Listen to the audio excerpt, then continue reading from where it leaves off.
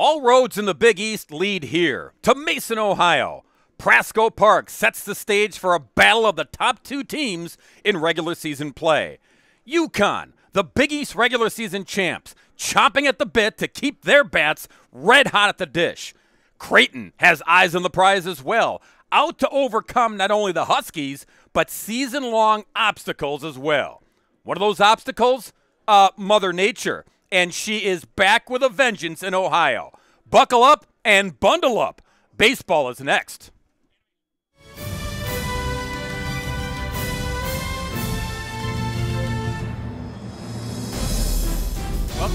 And welcome to Prasco Park here in Mason, Ohio, just outside of Cincinnati. We've got a good one here in the Big East Baseball Conference Championships. The Creighton Blue Jays taking on the UConn Huskies, one against two as we continue on here in Mason, Ohio. Hi, everybody. I'm Bob Brainerd along with John Fanta. Mike Schmaltz will join us as well from the blustery dugout. It is cold and windy again today. This tournament has already been TBA as we have gone along, John. But now we've got Creighton and UConn going head to head. These two teams didn't get to play each other during the regular season. Now they get that opportunity. This feels like years in the making in just the first season that these two teams could play in the Big East. It's the first ever meeting between Creighton and UConn and Bob after these two teams were unable to play their series in Omaha earlier this season due to UConn's COVID 19 issues. We get the best two in the Big East to decide that first ticket to the title game. I mentioned that this has been a lot of TBA, a lot of moving parts here at this tournament. Mother Nature was unkind yesterday. Rain, wind, and cold. They played the only game yesterday, started it just after 10 p.m. local time, finished it at 1:15 this morning. So that game eliminated Seton Hall. John Fanta knows firsthand because he was here all day. So Xavier continues. Uh, Xavier continues. Seton Hall is out. Now these two teams will play to see who has a shot at the championship on Sunday. Really interesting dynamic because typically when you lose that first game, you're stuck having to have the pressure on you the rest of the way. Xavier gets to sit a little bit here. They'll put their hands back and say, hey, we want Creighton and UConn to go as long as possible. Let's take a look at the Blue Jays lineup. They come into this one 24 and 13. Parker Upton will lead things off the right fielder, followed by Andrew Meggs. Roden, terrific season for this young freshman. Wait do you see him at the dish. Then Ryan Mantle in the cleanup spot. Dax Roper is the designated hitter, followed by Sterling Hayes, the first baseman. The catcher, he's a good one as well. He's behind the dish, batting seventh. Then Will Hanifin and Nolan Clifford, and they will face a second team All Big East pitcher, the right hander, Ben Kasparius. Ben Kasparius, a North Carolina transfer. The thought in mind, actually, after the COVID 19 season got stopped uh, last year in 2020, Kasparius had to sit out due to transfer rules, Bob. And there was a thought that he would never pitch for the UConn Huskies. He was MLB draft eligible, but Ben Kasparius is here. He's ready for this stage. And here's the Huskies defensively. This is a, a great defensive team. You think about the Fedko brothers and the Winkle brothers. UConn, they just have this feel right now for a team that is destined for a championship and more. We'll see if Creighton can stop them, but the Huskies have won eight in a row. They've won 26 of their last 31 games, Bob Brainerd. And over the last six games, this UConn team has scored 74 runs. So you talked about that Creighton lineup. The Blue Jays really need to try to set the tone here because the Huskies are feeling as confident not only as any team in the conference, but when you win 26 of your last 31 games, any team in college baseball. That will be the dialogue in this one. Can the Jays cool off these UConn bats? John mentioned it. They have been striking the ball with authority. Ball one low, and we are underway as Upton leads it off for the Jays.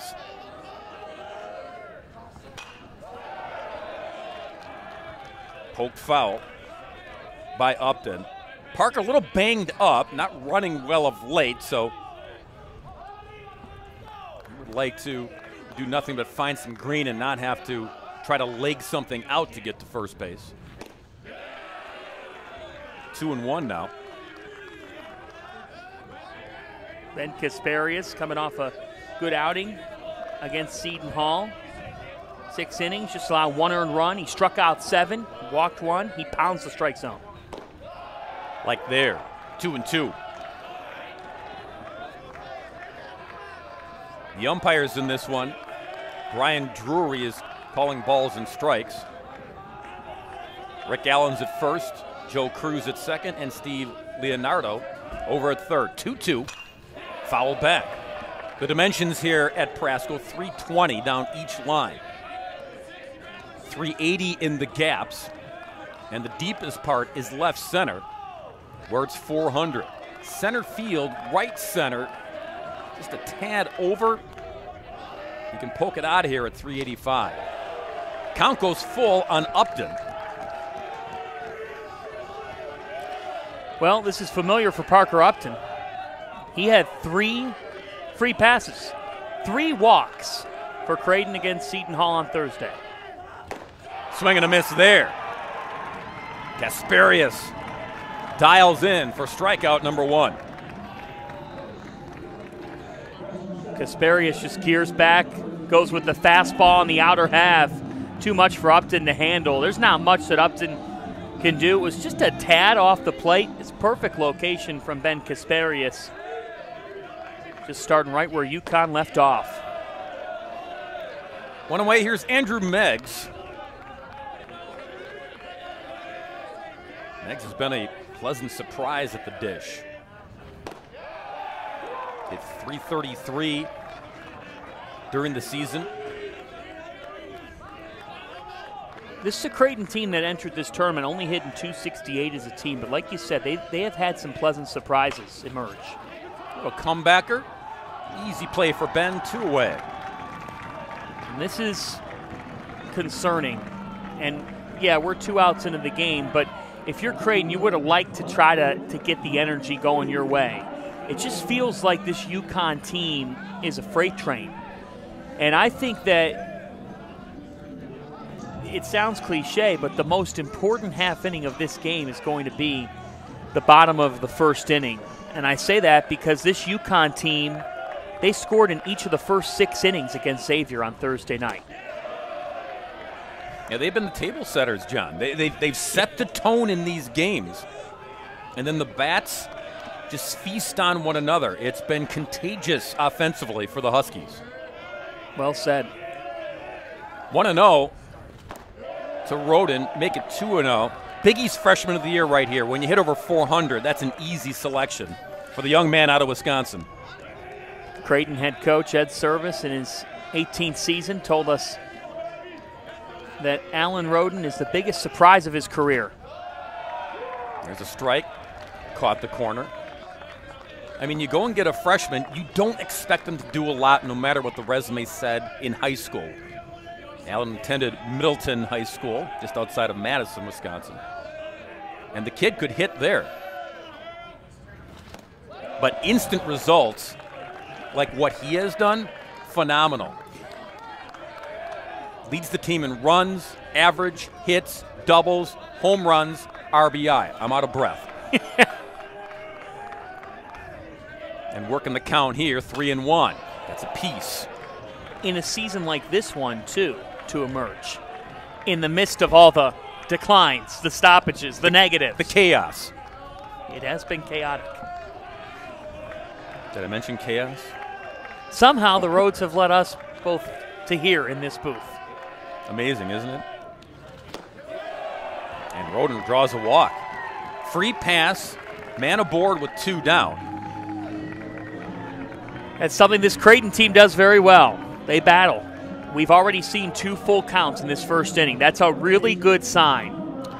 For the Blue Jays, that's now their 12th walk of this tournament after they found a way to grind out 11 free passes against Seton Hall Thursday. They only had seven hits, Bob, but those hits came in timely fashion off the walks. Ryan Mantle now. Got a piece of that one. Mantle, second team All Big East. Having a solid final weeks of the regular season, trying to propel himself to continue on here in Mason. I think Ryan Mantle's Creighton's most dangerous threat for an opposing pitcher right now. Mantle was real good the other night. Seems like ages ago now, doesn't it? Does. Three for four. Had a two run base knock for the Blue Jays. He is feeling himself at 352 in that cleanup spot. This is his first Big East tournament, oddly enough. He's a senior, Bob. But last year, the season gets halted. In 2019, he had to watch from the stands because of an injury. And he watched the Blue Jays win the Big East and then nearly win a regional in Corvallis. Ooh. Ooh. Casparius was sidestepping his way to the dugout. He thought inning over. It's a little bit low on the knees, not by much. Pat Winkel striking the pose there, trying to induce the strike. One, two, fouled off. Pat Winkel is everything you want in a catcher. He is steady Eddie back there. So I appreciate the the slight frame job he made. I actually agree though. Just a little bit low. Just got to keep that consistent behind the plate. Set up outside, and Casparius hit the target. But Mantle didn't fish. It's two and two.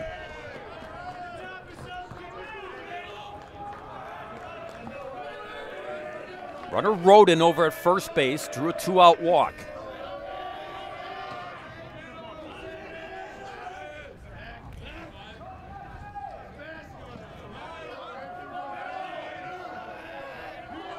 Mantle ready. Casparius as well. Runner goes, throw down. In time! What a throw by Winkel. Tag applied in the nick of time. Pat Winkel is exactly what you want in a catcher, Bob. We just talked about it. He's got a gun, a hose to second, and the Huskies come up with the defense. If your money is working toward the same goals, why keep it in different places? SoFi is a one stop shop for your finances, designed to work better together. Spend with SoFi and get cashback rewards that automatically go toward your goals, like investing in stocks, ETFs, and crypto. That's better together. Or pay down your SoFi debt sooner. That's better together. And that's how SoFi is helping millions get their money right.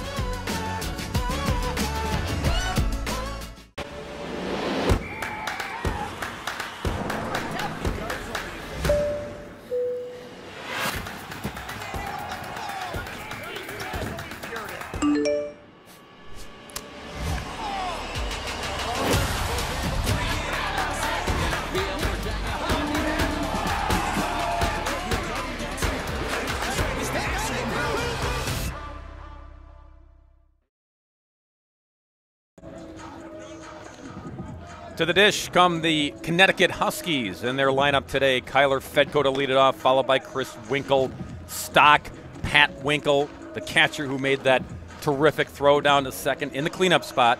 Then Christian Fedko, Crawford the first baseman, Langer the DH today, Brown the third baseman, and Bushling the shortstop. Jonah Smith on the hill, the right-hander. His numbers, John Fanta. Jonah Smith, that six and four record, talking with Ed Servais, he said that it is Smith's time to put together his best performance of the season. He's going to have his hands full today. He's a power pitcher. Bob, he loves to go to that fastball up the ladder, so I'm really intrigued to see Jonah Smith's fastball and the command of it against a lineup in the Huskies that has combined for 74 runs in the last six games. You've got power pitching for Smith against power hitting for the Huskies. 74 and 6. Is that a lot? Whew. And it starts the top with Kyler Fedko. My goodness, they have been feasting at the dish of late. Fedko leads it off, nods his head. That was a strike from Jonah Smith. And you see the numbers just tick below after the action the other night, just tick below the 400 mark.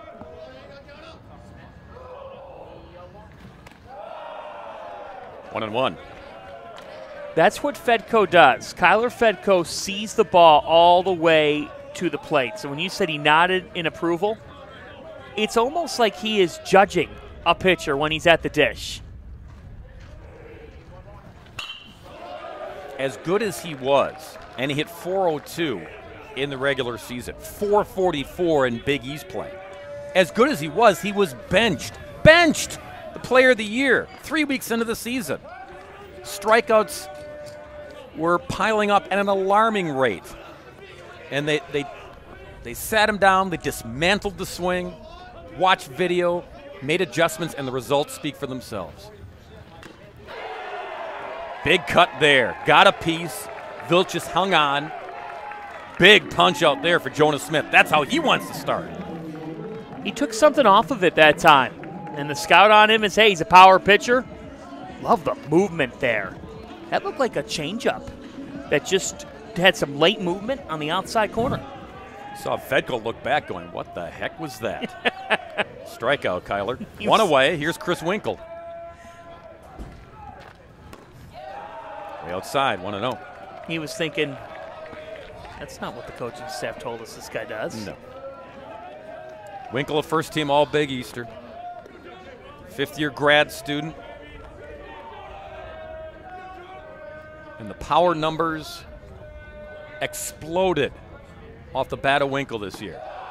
11 of his career 18 home runs this season in 2021.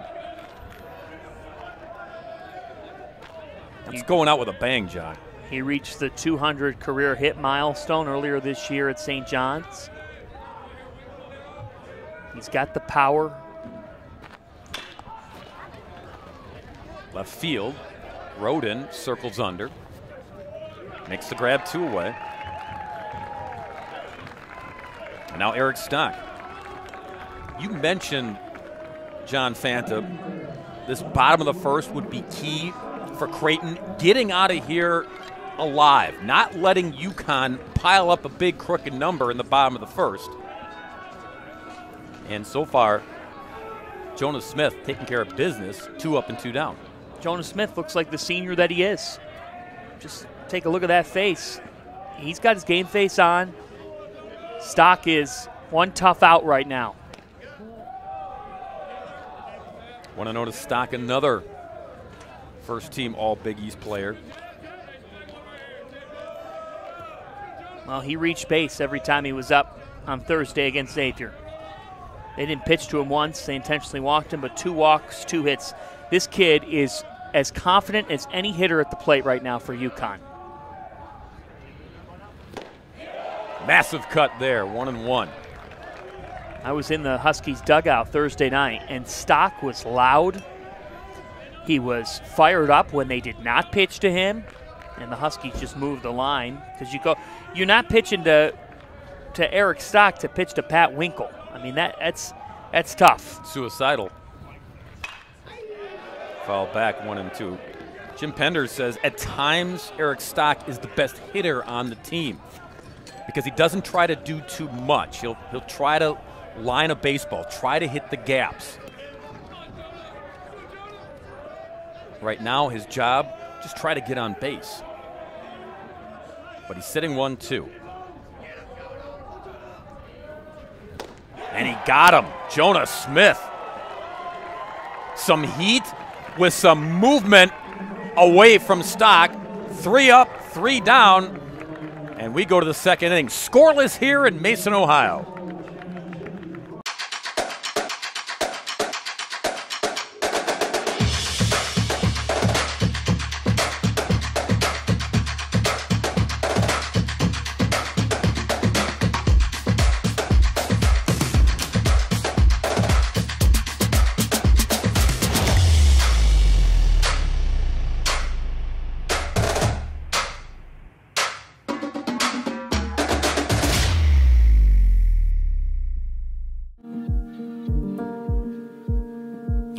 Are many, we are part of something. A force bigger than all of us. Our distinct fingerprints collectively shaping and forever changing what makes UConn, UConn. Forever making our mark. forever making UConn a part of us.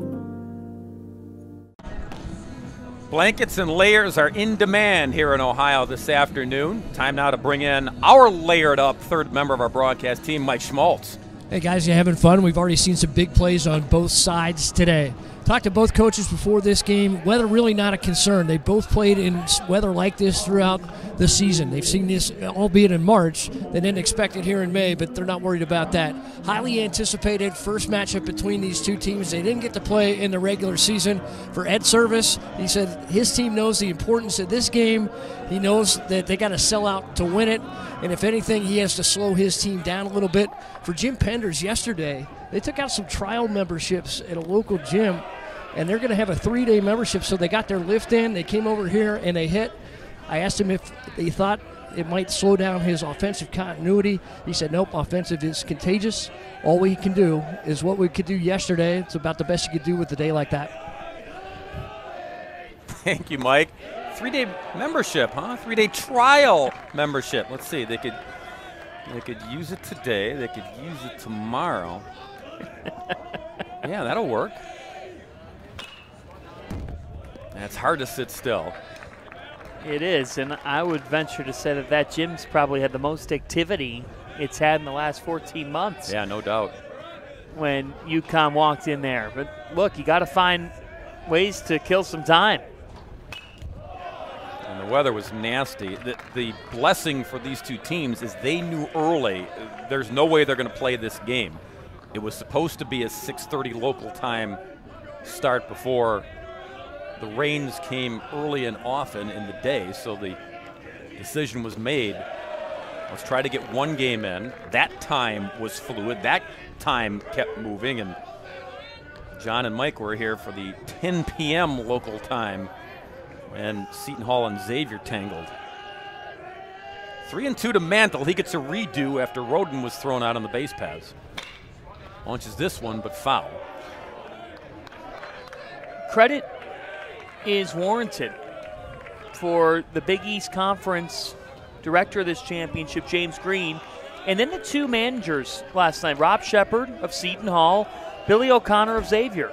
Because through the dialogue, that's inside for the walk, a leadoff walk for the Jays, through all that discussion of when can we find a window? What you don't want to have happen is you don't want to start a game, then have rain, and then have your pitchers get jeopardized. They found a window. And I think that, Bob, even though we ended after 1 a.m. last night, you got a game in.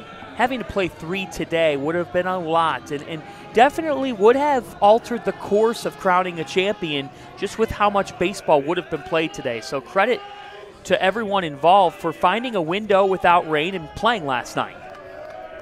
Indeed. Double dip today as Roper takes a strike. He's the designated hitter.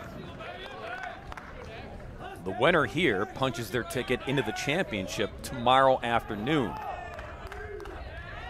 And I hate to say the loser, I'll just say the defeated team, John. they will have a short break. They'll get the field manicured here, bouncer to second, double play ball, Fedko to Bushling, and then wild throw pulled Crawford off the bag. So they get the lead runner one away. So the defeated team will then play the Musketeers later this afternoon, schedule about 4 p.m. And that will turn into an elimination game. But as you said, John, imagine starting this game in the morning hours, then playing a second game, then a third under the lights. That would be tough on everybody. Hayes the batter now.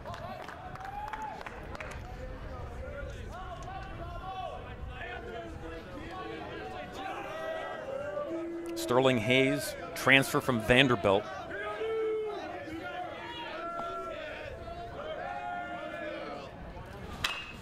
Bouncing ball, just foul.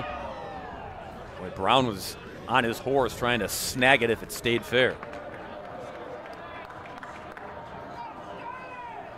Hayes played shortstop for the Jays early in the season, but they switched him over to the first base bag. They did, and that opened the door for Nolan Clifford, who's only the second true freshman to play shortstop for Creighton in program history. Now, the umpires are going to huddle up here. I thought that might have been a fair ball. It was darn close. And again, you saw Brown with the quick giddy up to try to get there and make a play in case it hugged the line and stayed on the right side. And the umpires, after their confab behind the mound, Wow. say, nope, foul ball. That is tight.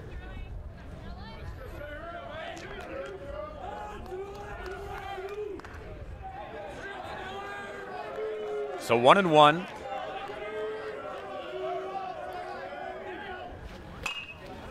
That one lifted foul.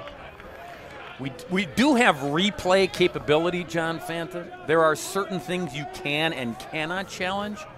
So that will be a point of discussion if the head coaches come out and they have something they want to question. The umpires will say, well, you can or you can't. As Hayes cuts through it, swing and a miss.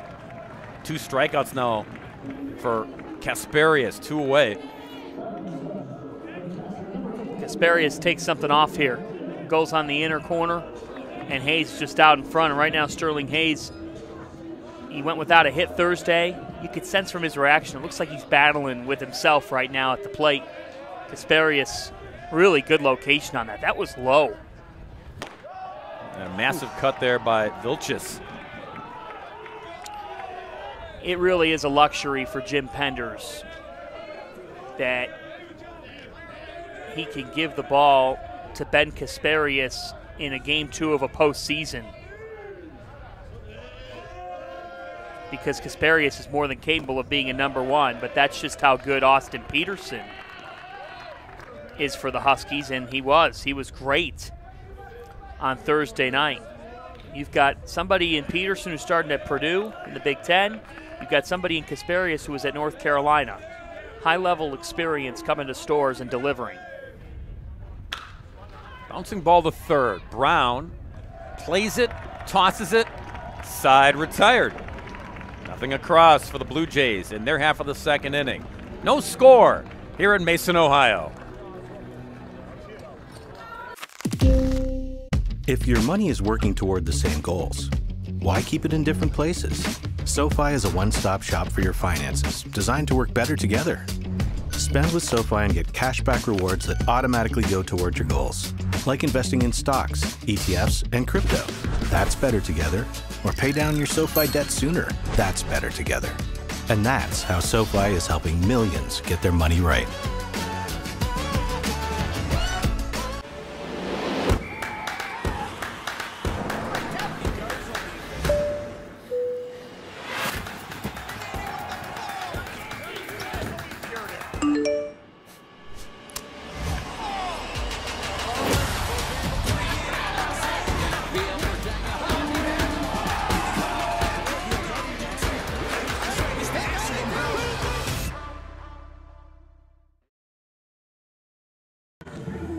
Bottom two, Huskies' second turn at the dish. No score here in this game to see who punches their ticket to the championship on Sunday afternoon. We won't uh, beat.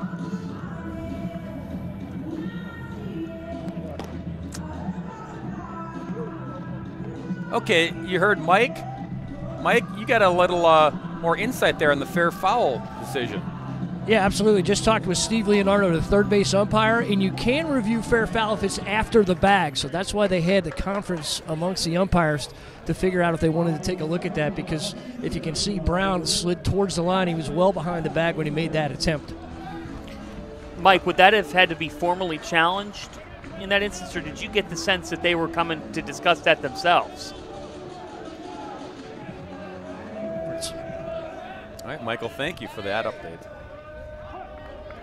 Yeah, as John mentioned, the replay a couple times, it was it was tight. It was close. But foul by a skosh. Pat Winkel, Christian Fedko, Crawford.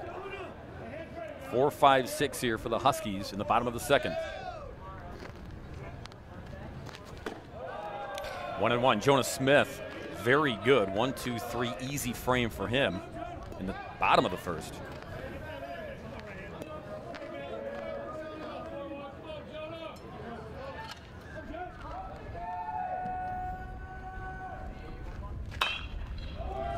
Roll it to first. Hayes gobbles it up, says I'll take it, and does. One away. Batter will be Christian Fedko. There was so much buildup for this game. These two teams didn't play in the regular season.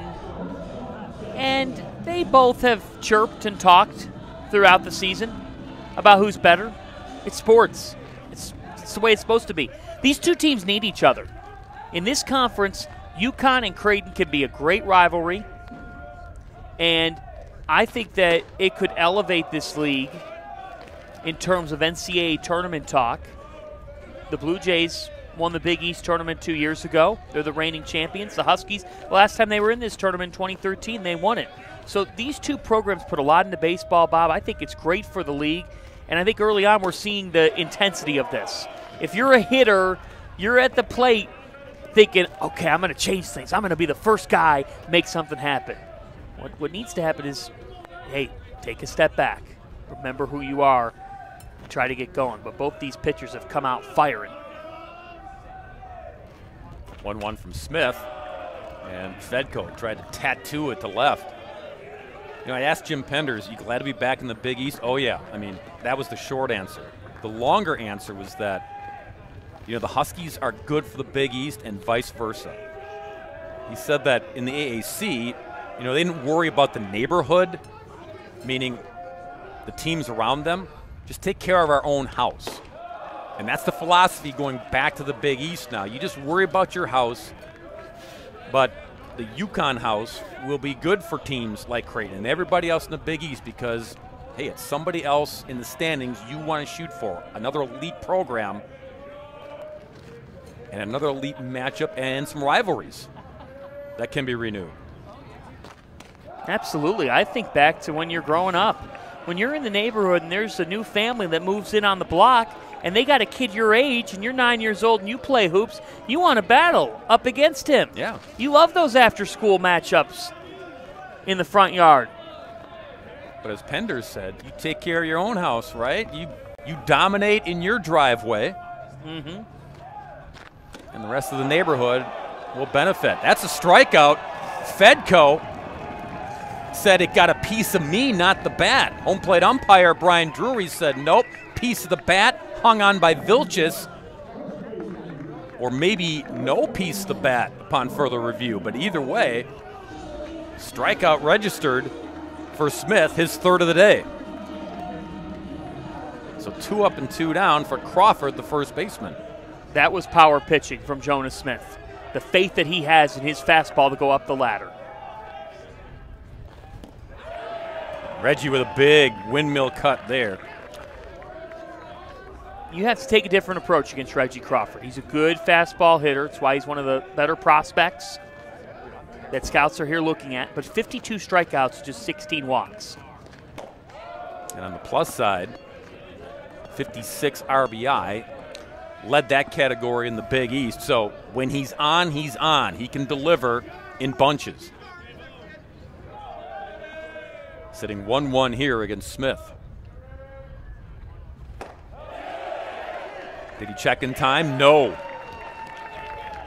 Steve Leonardo, third base umpire, says he went around. It's 1 and 2. That's terrific pitch sequencing from Jonas Smith. He started Crawford out with an off speed one outside and low in the zone. He goes up the ladder with the heater.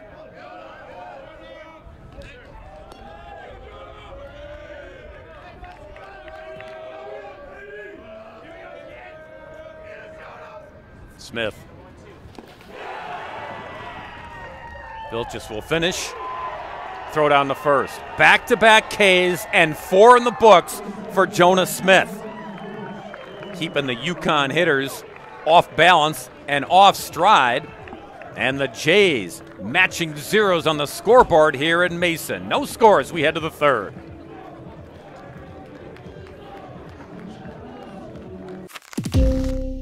If your money is working toward the same goals, why keep it in different places? SoFi is a one stop shop for your finances, designed to work better together.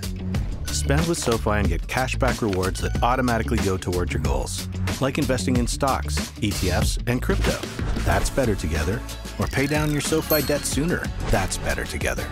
And that's how SoFi is helping millions get their money right.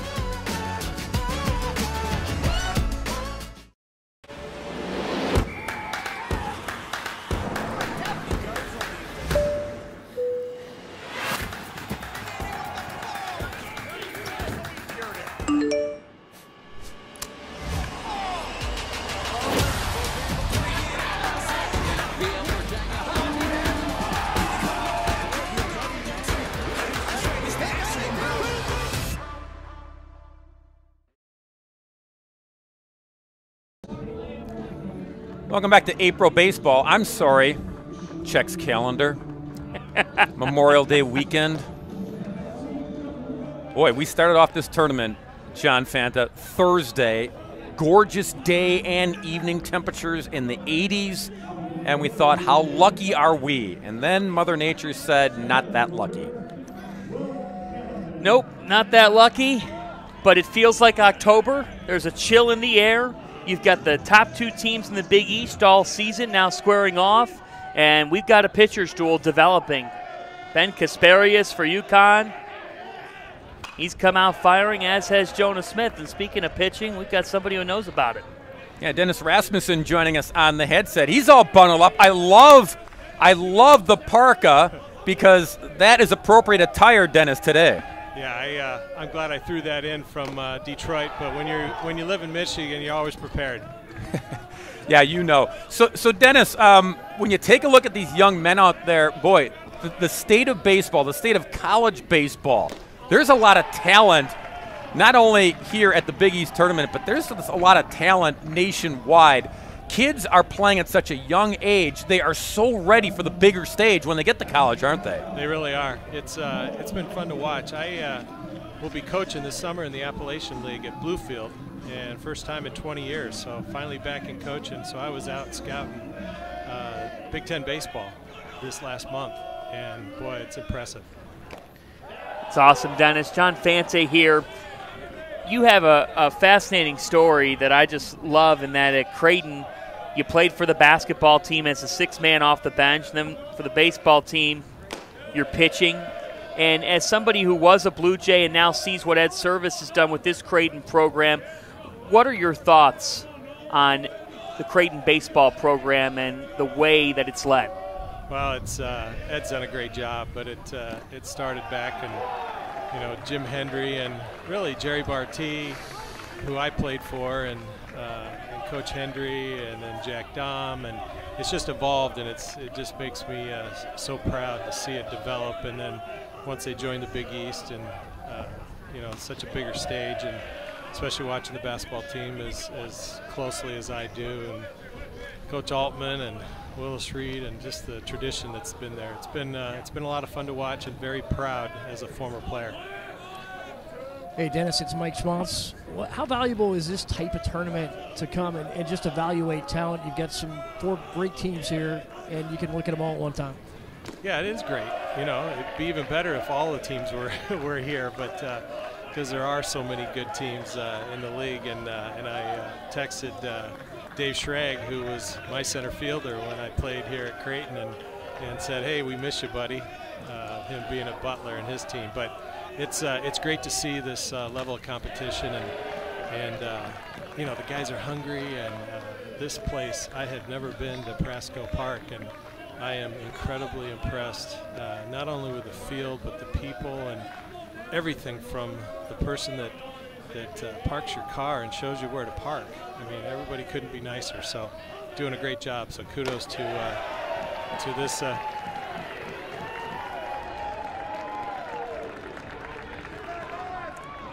Clifford draws a walk here, so back to the top of the order and Upton. Dennis Rasmussen joining us here on the broadcast, former Blue Jay, former Major Leaguer. When you look at collegiate talent, what specifically do you hone in on? What what do you try to break down when you're looking at a young man and his ceiling going forward?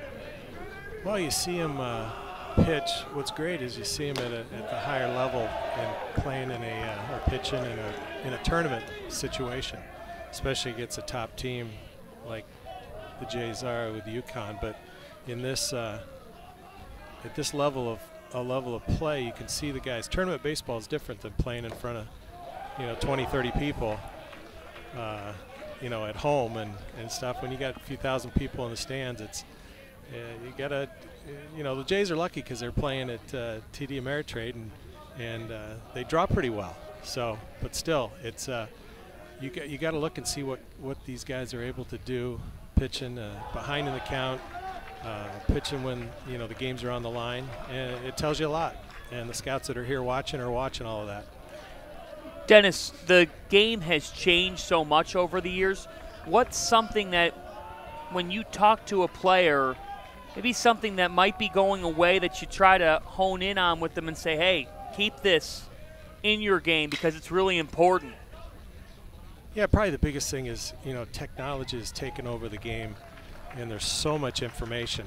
And I know I'm going to be in the middle of that this summer and I've been trying to understand a little bit more because I have been out of the game for 20 years. So I haven't been as close to it, but just know enough to be dangerous of spin rates and uh, all, all the information. So it's uh, you kind of gotta you gotta realize that you still got to go out there and compete, and it's one pitch at a time, one hitter at a time, one inning at a time as a pitcher, and uh, you got to go out there and compete every single pitch and not let down.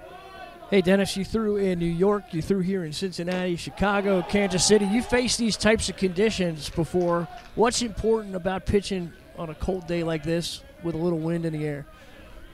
It's a. Uh, I always look at it. Every day is a great day to pitch, but especially when it's cold out. Um, and uh, the only the only bad thing is that the guys got aluminum bats in their hands, and you're not getting the sting quite as bad when you jam a guy with a wood bat. So uh, but uh, it was always a great day, and uh, I would I would go out there in short sleeves on days like this. So I'm not surprised their pitchers got short sleeves on. It makes you it makes you look tough. Ah, you were one of those, Dennis. Yep. Dennis, thanks so much. We'll let you go get some coffee and get warm. We appreciate you stopping by for all the insight. Thanks, guys. Keep up the good work. Thank you. That's Dennis Rasmussen. Meggs is the batter two away here for the Jays in their half of the third. And Casparius battling here with Meggs. Grounded out his first AB. tell you, Dennis Rasmussen was tough. As an arm, you think about what he did at Creighton as a, as a baseball and basketball player. Just a resilient guy. Look at that. Pat Winkel sets up. Casparius nails the target. Meg's caught looking. Two Ks in the books and four on the docket for Ben Casparius. No score, bottom three.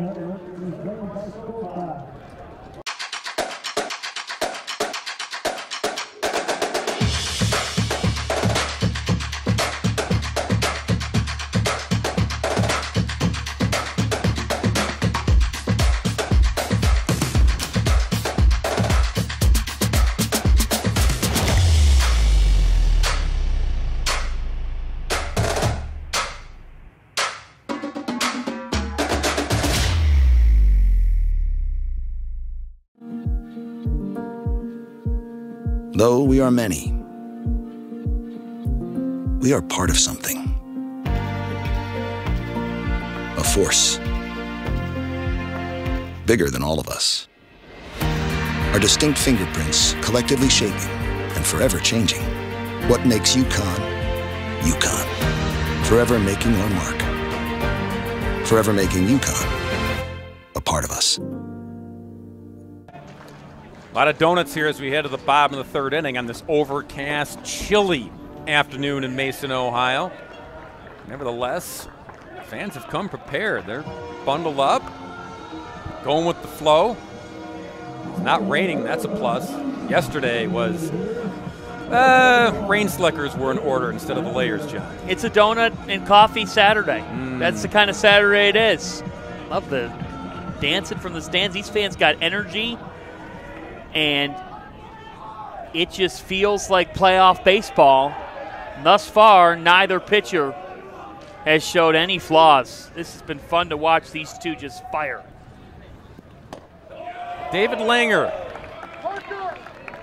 DH here, batting seventh. Brown to follow, then Bushling.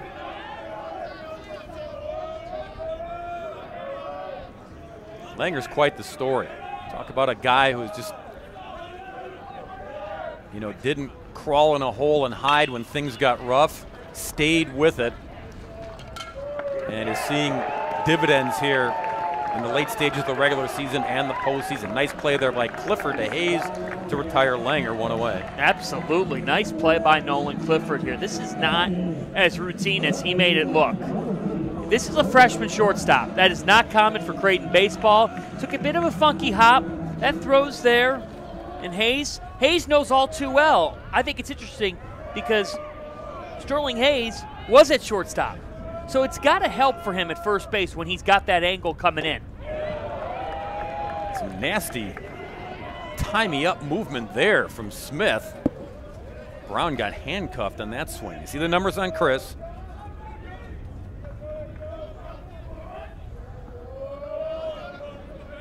First real year on this UConn roster, as Jim Penders calls it, on the roster last season, but didn't play.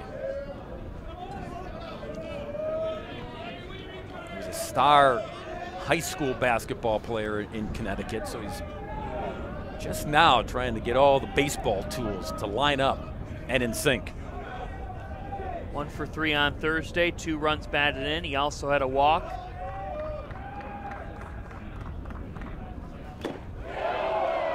Hear the, not really an argument, but the case, if you will, for kids in high school play multi sports. And, and even the coaches will say, yeah, it's a good thing. I don't want somebody going 12 months a year, 24 7, doing one thing. They like multi sport athletes. This one to right center. Hanifan running over, and instead, Upton says, I'm right here. and makes the grab casually, two away. That was as casual of a grab out in right field for a steamrolling train that was oncoming. Will Hanifan. And he's getting ready to call off Upton, and Upton's like, dude, I'm here. I got it. Two away. Good to see that they avoided contacting Uh, each other. Yeah. Zach Bushling now the shortstop. Oh, great movement there. 0 1. I'm loving everything about Jonas Smith right now. And this kid's journey is amazing. He was a walk on at Abilene Christian before transferring into Creighton. Now he's pitching in a playoff game to book his team to a championship game. And Bob, he's been fantastic. Against the top offensive team who they're all swinging hot sticks. Not just here at the tournament, but the tail end of the regular season. Nothing but offense. Sometimes timing is a is a thing. UConn was red hot. They wanted to play yesterday with how hot they are. Bouncing ball to second. Megs will get there. Nine up and nine down. Jonas Smith doing a job on the UConn Huskies. We go to the fourth, and those donuts, well, they're still on the board.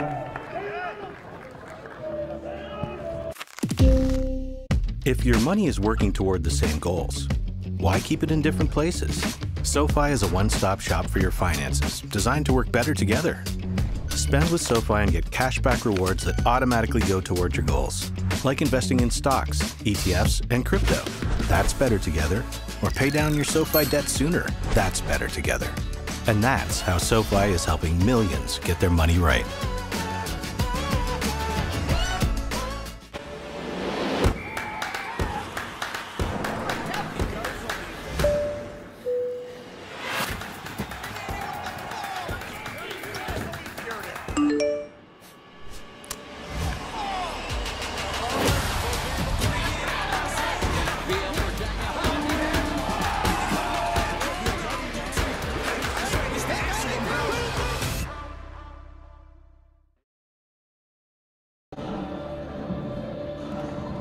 Ben Casparius is a Connecticut kid. He knows what UConn and the Big East is like because when he was growing up, that's what he was watching.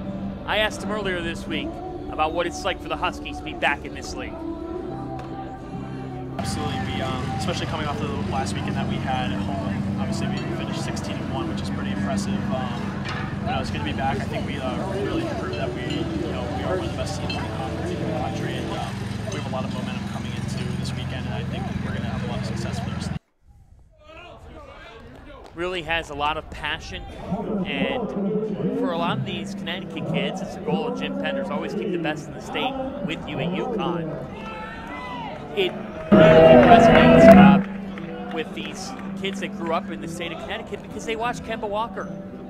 They watched Geno Auriemma and the, the greats of UConn women's basketball from Rebecca Lobo to Sue Bird, Diana Taurasi, all those big names, they want to be that, that name. They want to be that George Springer that UConn baseball's had before. And the list of UConn Husky terrific stars of the past. They want to write their name in this week. Roden leads it off in the fourth. Yeah, Jim Penders talked about him in, in the neighborhood and taking care of their house in the Big East. He said there's there's all these veteran coaches that he can learn from, that the players can learn from. They can look at the program in the other dugout and watch how they go about their business. Not that UConn doesn't have their own program, their own way of going about it. As Roden, off the end of the bat, goes Oppo for a base hit. The first of the afternoon, ladies and gentlemen. Took us all the way to the fourth inning to get there.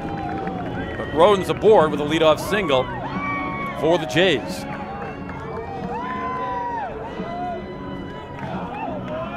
Great piece of hitting. That's exactly why Alan Roden is the Big East Freshman of the Year. He goes the other way. That's adjustments from your first at bat. And the Blue Jays, they've had base runners via the walk. Now they get one via a hit. Let's see some small ball. Ryan Mantle squares. Inside it goes, 1 0. By the way, Ed Servais said Alan Roden hits the ball as hard as anyone he has coached. This is a freshman. And you saw it there off the end of the bat. It had some juice on it.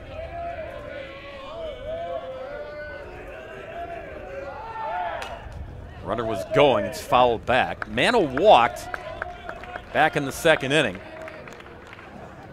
But Casparius took care of business by retiring the next three.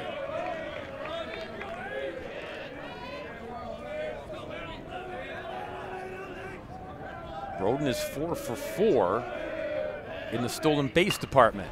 Squares, fielded by Brown. He'll go to first to get the out there. Brown came in charging in right place, right time to make the play. Sacrifice complete by Mantle. Well, there was a thought in mind from Brown at first to go to second, but you have to simplify things there and just get the out at first. Because the way that Ben Casparius is throwing, he's only allowed the one hit. You'll put the faith in him against the next four hitters for Creighton, which nobody's hitting over 221 in this group. And you also put the faith that your bats will find that groove once again. As good as Jonas Smith has pitched so far in this one for Creighton. UConn bats, they know their offense. It will come to life here. Dax Roper came to life for Creighton in the ninth inning on Thursday against Seton Hall. A Double the left that brought in two and cut the lead to one. Bob Roper had been 0 for his last 17 before that at bat in which he broke through for the Blue Jays. Yeah, Ed Servais said, we're going to need offense from Dax in Ohio. It's the guys who are struggling, the guys who you aren't counting on offensively. You need them to be that X factor here. That one fouled back, two and one. Well, one of the things with Dax Roper is he's a guy who hits a lot of fly balls. And at TD Ameritrade Park, it's hard to hit one Yeah. for real power. It's hard to hit a home run out of there. And if you hit one that stays in the air long enough, somebody's going to get to it.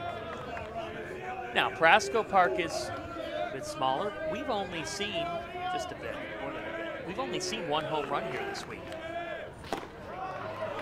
Nice pitch there, two and two. And the wind is blowing in, John. It's, it's blowing in from left center. So any righties like Roper, it's going to take a poke. For a gap here. UConn shaded over to the left. Their outfield shading to the left side. Their infield is as well. There's a right center gap for Dax Roper. He can go the other way. 2 2. Big cut. Winkel will finish off the K with a throw to first. Two away. Roden stays put at second. There's something to be said right now about the fact that these two teams are seeing each other for the first time this year. That's just a great breaking ball by Casparius for his fifth strikeout. And it's advantage pitchers. What we saw on Thursday was two matchups, Seton Hall Creighton and then Xavier UConn. Both those teams in those matchups had seen each other four times, not the normal three, four times in this COVID 19 season. It's game five. UConn showed that they had seen Nick Zwack. Uh, both Seton Hall and Creighton showed they had seen each other's starting pitchers. And I think, Bob, that that's something that, that has to get brought up is you can watch all the video you want. Right now, we're watching advantage pitching because these two teams haven't seen each other at all in their history.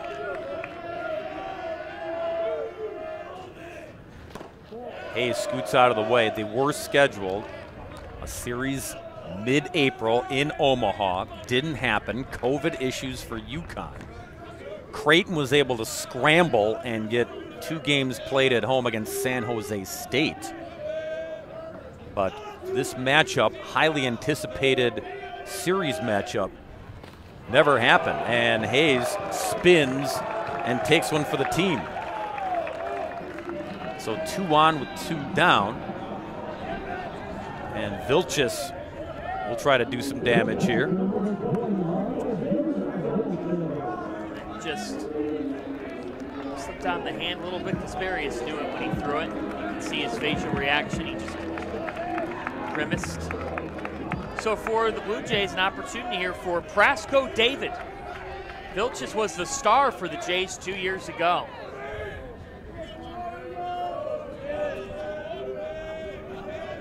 Big opportunity here. Goes after the first pitch. High in the sky, foul territory, and out of play. Vilchis is another guy that Ed Servais says we need some offense from him. It has been a struggle for the young man at the plate. Now, good behind the dish, you bet.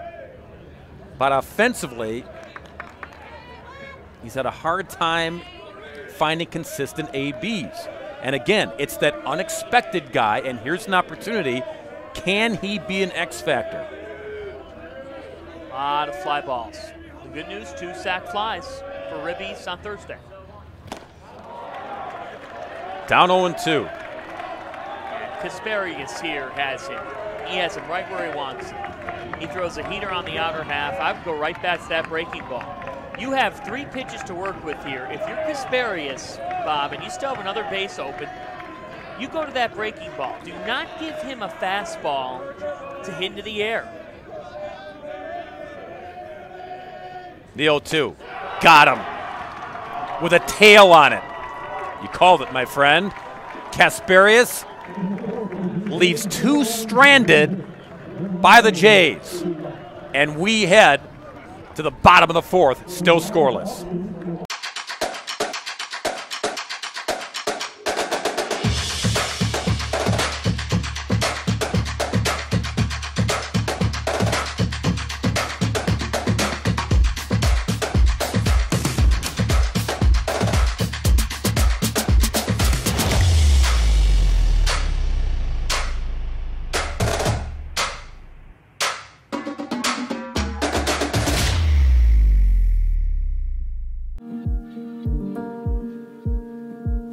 Are many, we are part of something. A force bigger than all of us.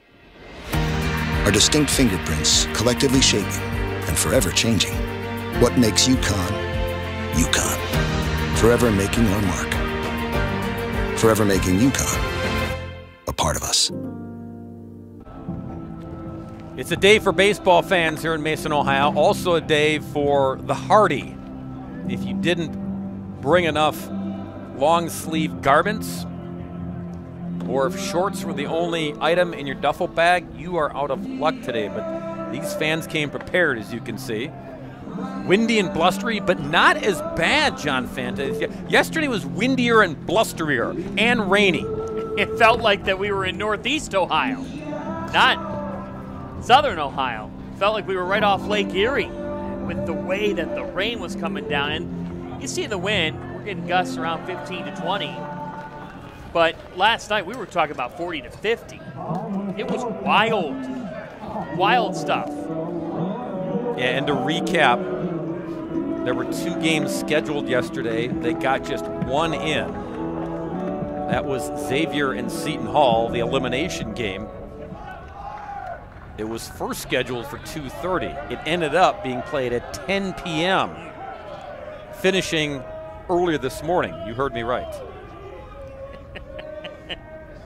Jonas Smith has faced all nine Huskies. He's retired all nine.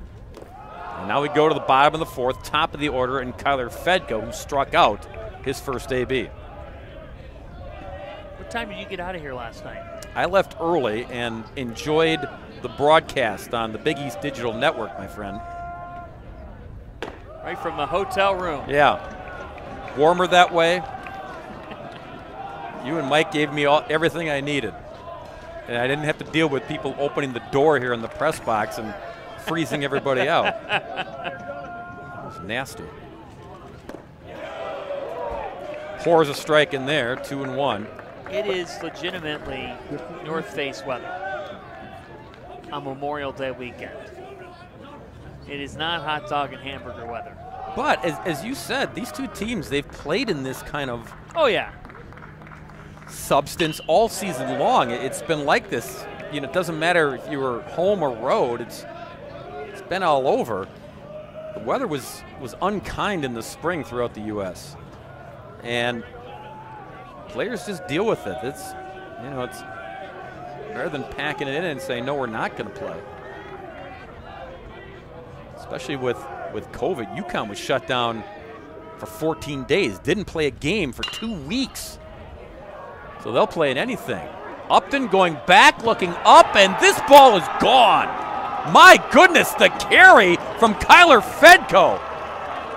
He got it up on the jet stream and knocked it out for not only the first hit, but the first run of this game, and it's 1 0 Connecticut. Wow, John, what a surprise. The Warden does it for the Huskies. His 12th homer of the season. Kyler Fedko, this is why he's an MLB prospect. Muscle. Had the number one up to his dugout because that is one for the UConn Huskies. First hit in this game, it comes in big fashion. It's power pitching versus power hitting. This time, the Big East Player of the Year arrives and makes a statement for a breakthrough. Huskies draw first blood. Did you see Fedko? Before he got the first base, helmets off, the pump, he knew it was gone. Down to Mike. You had a bird's eye view of that, didn't you, Mike? Well, yeah, that was a long view. I don't know if I can even see that far anymore because that was out there. But Kyler Fedko, he gets back to the dugout and he says, "Follow me, follow me, follow me." A lot of energy down here after that big shot. Good stuff, Mike. Thanks. Chris Winkel, the batter now. Upton went back, John, and he's circling under it, and you thought he might get to the track and either A, make the catch, or B, find a way to tuck himself in to play it off the wall. But it cleared the wall. Everyone in the park, a little surprised, except Fedko. He knew it. He had the feel off the bat that there'd be some carry, and he got the jet stream. Little push from Mother Nature. Wind starting to blow, not in anymore, but blowing out towards right field.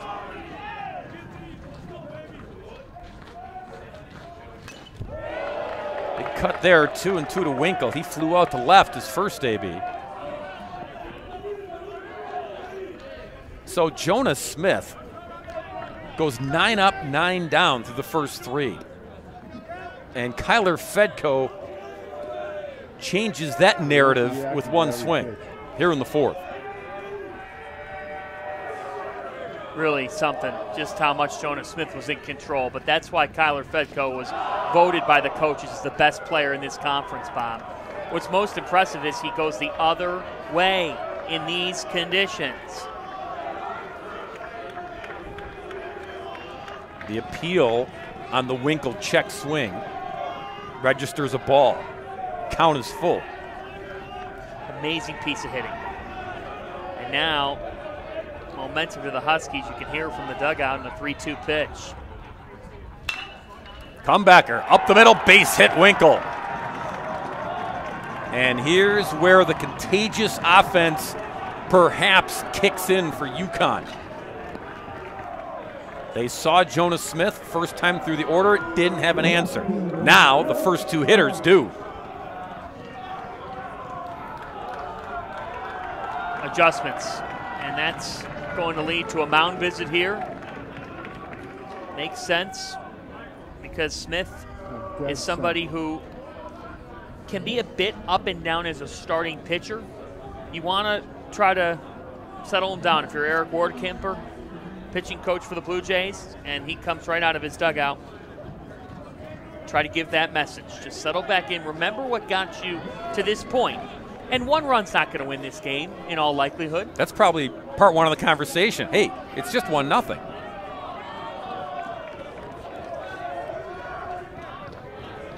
Still early enough in this one. Jay's offense has stranded four runners so far. And here is Eric Stock. First pitch swinging foul. Stock struck out to end the first inning against Smith.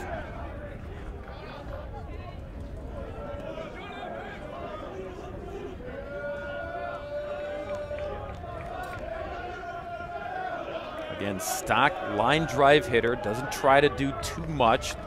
Perfect guy in this situation with Winkel over at first. But he's down 0 2. Big cut there. Foul that off. And if you're Smith against Eric Stock, who might be the toughest out for UConn right now, you've got that breaking ball. Be careful with Chris Winkel, who's 14 for 15 on steals this season.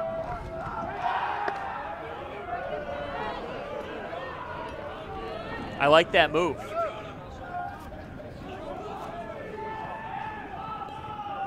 Yeah, Winkel might shorten his lead a tad, but he's still got a good chunk of real estate over there.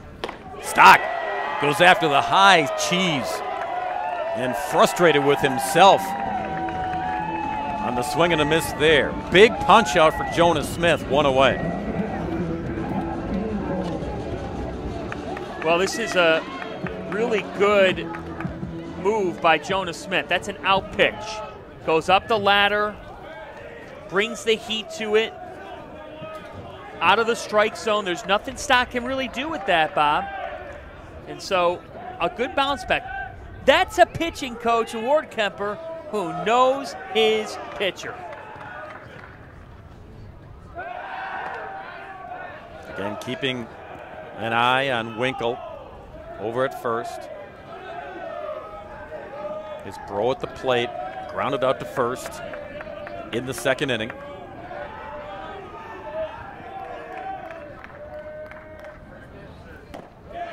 Pat takes a strike. Brothers off. Stole that base easily. Well, he didn't get a good jump. This was a delayed steal. This is really not a good jump. Eh, We could see this again. It's a delayed steal here. Vilchis, I don't think Vilchis saw Chris Winkel taking off for the bag. It was a good secondary lead, but he kind of took off late. That pitch was in when he really started to gun for the bag. That's where speed pays off. Yeah. Winkel's got it. And even though it was late, it was delayed, he still made it in there easily. Upstairs to Pat, one and one. How about the brother connection? Think about Kyler and Christian Fedko. Right now, Pat Winkel at the dish, Chris Winkel at second.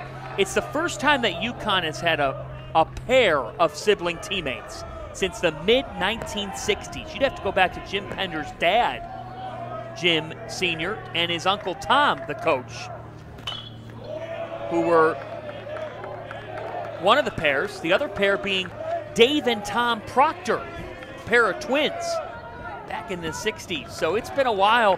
The Huskies have this family type of trait, uh, but to have two pairs of brothers, there's got to be times where Jim Penders gets a little bit hooked up on. Wait, I meant you, Pat. As long as you're hitting, as long as you're fielding, I don't care which Winkel sure? it is.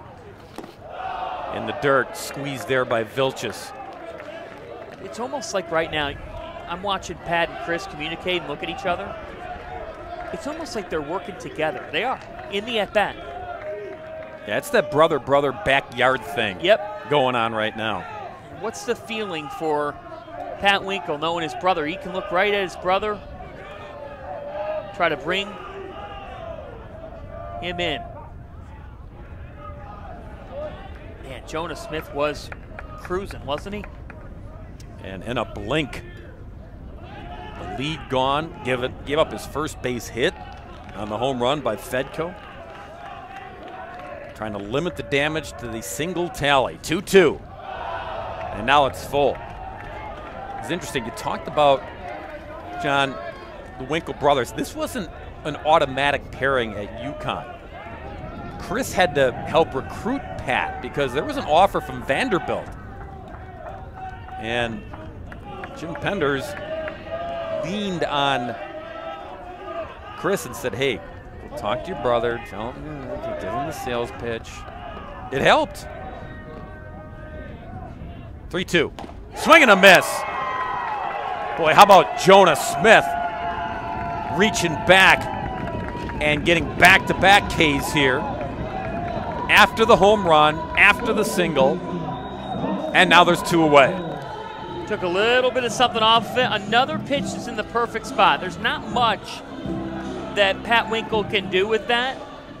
So good location by Smith. Dips it down in the zone on the outer half. He's responded nicely since giving up the two hits. The Kyler Fedko bomb over the brick wall and right. And the Chris Winkel single back up the middle.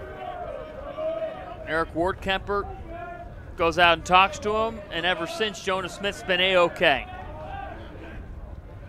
Six punch outs now for Jonah. Hasn't walked a batter. Here is Christian Fedko. Strikeout victim, his first at bat in the second inning. These two pitchers are just wheeling. We have a combined dozen strikeouts, to your point, on the six for Smith. Casparius with six Ks as well. It's been fun to watch the power arms. In the dirt, Vilchis smothers it. 2 0. It's exactly what you want if you're either one of these coaches because there's a reality here for one of these teams. The loser of this game has to play again against Xavier later today. You want to have as many bullpen arms for that game and for what will be tomorrow, which the loser of this game is going to have to win three in a row to win the Big East Championship. Who is right? What a pitch there by Smith. Yeah, that was terrific. That was as good as a medium rare steak at the Drover in Omaha. Mmm, steak. It's lunchtime. Sorry, folks.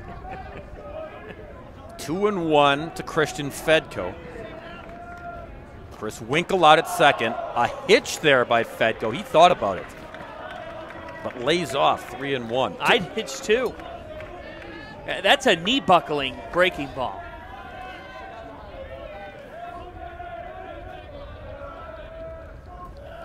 Tempting, but Fedko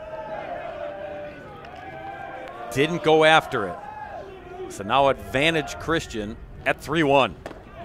Outside, he walks. That's the first free pass issued by Jonah Smith, and the inning continues. Quality at bat from Christian Fedko. He laid off that breaking ball in the outer half. Takes another. That was a heater that just missed.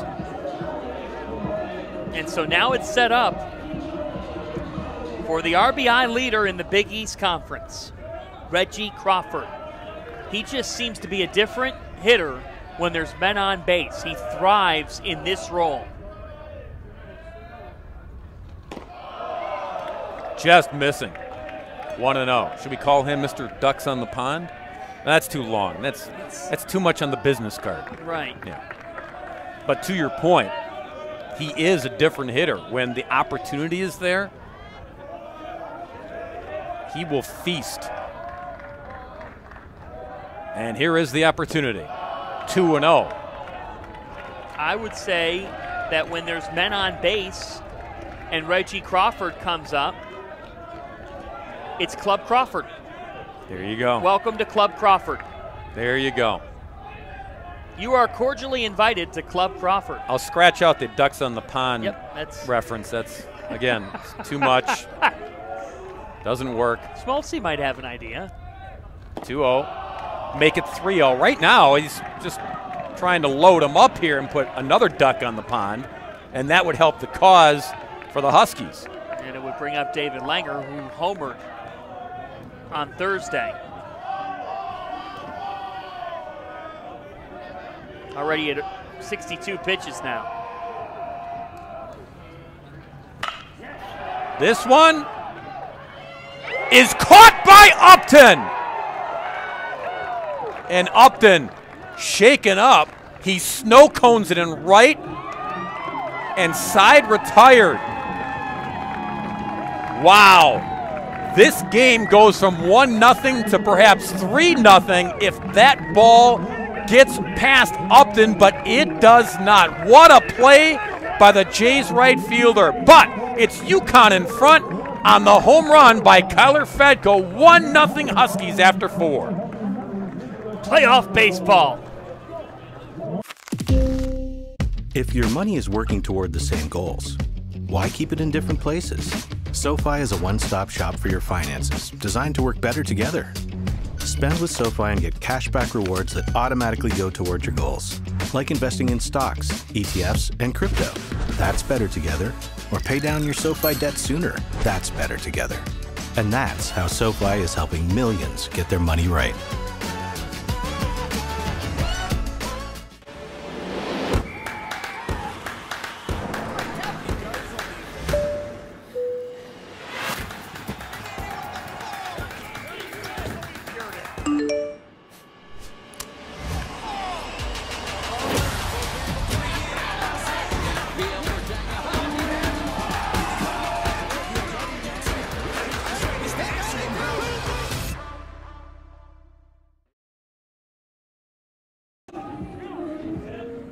Jonah Smith owes Parker Upton a gift. You've got the Big East runs batted in leader and Reggie Crawford up. He thinks he's got a two run double. Parker Upton with the gem of this Big East tournament out and right. Incredible play and effort. Gutsy was a bit shaken up, but he fights through it and makes an outstanding grab to keep this at a 1 0 game. A defining moment in this game, and in an inning where UConn scored off the bat of Kyler Fedko out right for the UConn Huskies, it still feels like Creighton has some level of control on this game. And the reason for that, Bob Brainerd, is Parker Upton. What an outstanding play by Upton. And again, you saw him, I'll tumble for you, tuck and roll after making the snow cone catch. Came up a little gimpy, maybe had the wind knocked out of him. something to be said about the way Creighton plays defense. 982 fielding percentage. That's top 10 in the country. Yeah, at service, they had a case of the yips to close out the regular season. Very un Blue Jay like. But they hit the reset button, certainly here in Mason, Ohio. That last catch on display is proof. Keeps this a 1 nothing ball game here, top of five. And Hannafin, the batter, strikeout victim his first time up. Make it strikeout victim his second time up as Casparius registers K number seven. One up and one down here in the fifth. Ben Casparius is working perfectly with all his pitches right now. He has confidence in every single pitch, and that's what Josh McDonald, his pitching coach, says is so special about him. Schmaltzy? Yeah, guys, I was just watching Ben Casparius between innings, and it's almost like the prize fighter waiting to go back into the ring. He's kind of walking around. He's got some energy, He's sort of pounding his the railing down here. They get up and he warm up and he come back. Um, talked with pitching coach Josh McDonald about the wind and how they want to pitch in this wind. And then Reggie Crawford came over and gave him a little coach up session and said, Hey, you know, you really look like you're in control when you got runners on base because you let one get away from you, but you brought it back. Nice job. So this team building and coaching itself up. Yeah, thanks, Mike. It's easy to self motivate when you're putting big crooked numbers up, double digit runs, and it's easy for pitchers to pitch when they got a big cushion. Ben Casparius only has a one run lead here, but he's pitching lights out. Another K, eight in the books for him, two outs, top of the order in Upton. We're seeing everything. He starts with that breaking ball to get the first strikeout in this inning. That looked more like a, a changeup, took a little something off of it to go down the zone, and now he starts with a fastball to Parker Upton. This is brilliant pitching by Casparius and he's working quickly right now. Yeah, he sure is. To, to Mike's point, that's that's the pacing, that's the energy in the dugout. I want to get back out there, and when he does get back out there, he's raring to go. Yes, he is. This kid is intense. Jim Penders talks about how when Casparius has to get talked to or get taken out of the game, he'll have Josh McDonald take him out if he has to get taken out because Penders doesn't like dealing with how intense Casparius can be on the mound. He said, I'm a little bit afraid of him. No one, oh, wants, oh! no one wants that heat, and the Jays don't want that heat either. Three up, three down, all via the K. Nine punchouts now for Ben Casparius. Dealing here against the Jays. He's given up a hit, but that's it. This is high level pitching from Ben Casparius. Just locating really well. We see the full arsenal on display from the junior for the Huskies. It's hard to believe he's a number two for this UConn team. Pitches like a number one, could easily be a number one. He goes the outer half. And he says, you know what? I'll take something off here. Ben Casparius is locked in. If your money is working toward the same goals, why keep it in different places? SoFi is a one stop shop for your finances, designed to work better together. Spend with SoFi and get cashback rewards that automatically go toward your goals, like investing in stocks, ETFs, and crypto. That's better together. Or pay down your SoFi debt sooner. That's better together. And that's how SoFi is helping millions get their money right.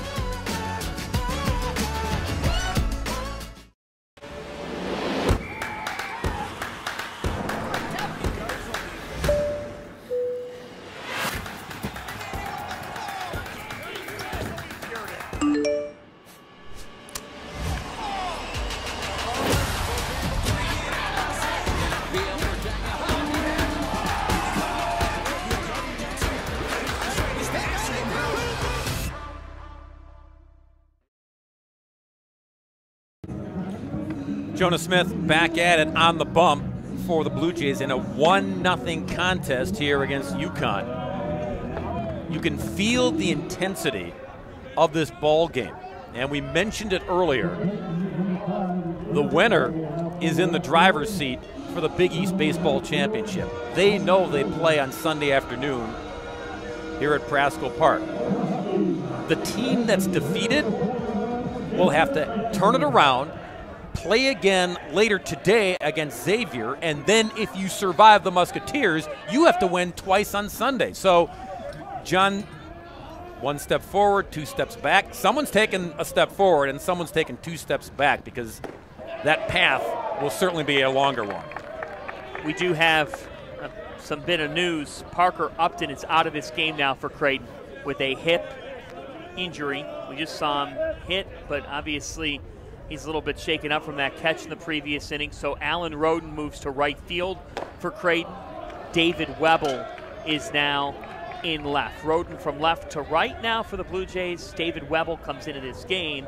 That's unfortunate for the Blue Jays because Upton, their leadoff hitter, nearly 300. He gives them one of their best chances to have a base runner, and now he's out of this game. You Saw Upton again make that terrific catch, but paid the price, hobbling when he finally got up, and, and he laid on the turf a while, shaken up. But an inning ending play and at least saving two runs from scoring by making that play. Big cut there by Langer, got a piece, two and two. It's Langer, Brown, and Bushling here in the bottom of the fifth inning. UConn nursing a 1 0 lead.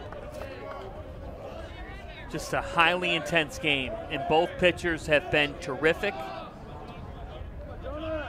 Combined 15 strikeouts for these two arms. Goes back to the brackets that we just mentioned, John. Both teams are well aware what this game means.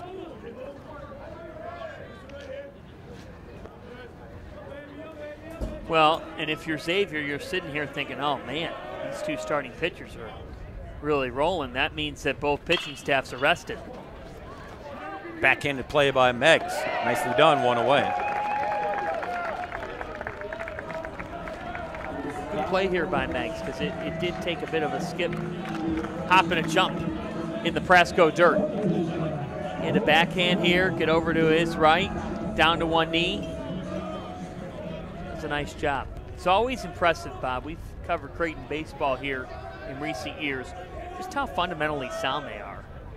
They really don't give you many free outs. And like you said, they, they had the yips a little bit. They had some nerves they had to get through, but I think it helps the Blue Jays that their last two Big East regular season series were against teams that are in this tournament. Indeed. And it helps the other teams as well, but you learn from your mistakes. And I think Creighton's learned from some of those mistakes. That ball out of play. Yeah, as good as the Jays defense has been and was this season, you encounter some obstacles and you say, okay, it's not automatic. We're not always going to be sound defensively simply because we have Creighton on our jerseys.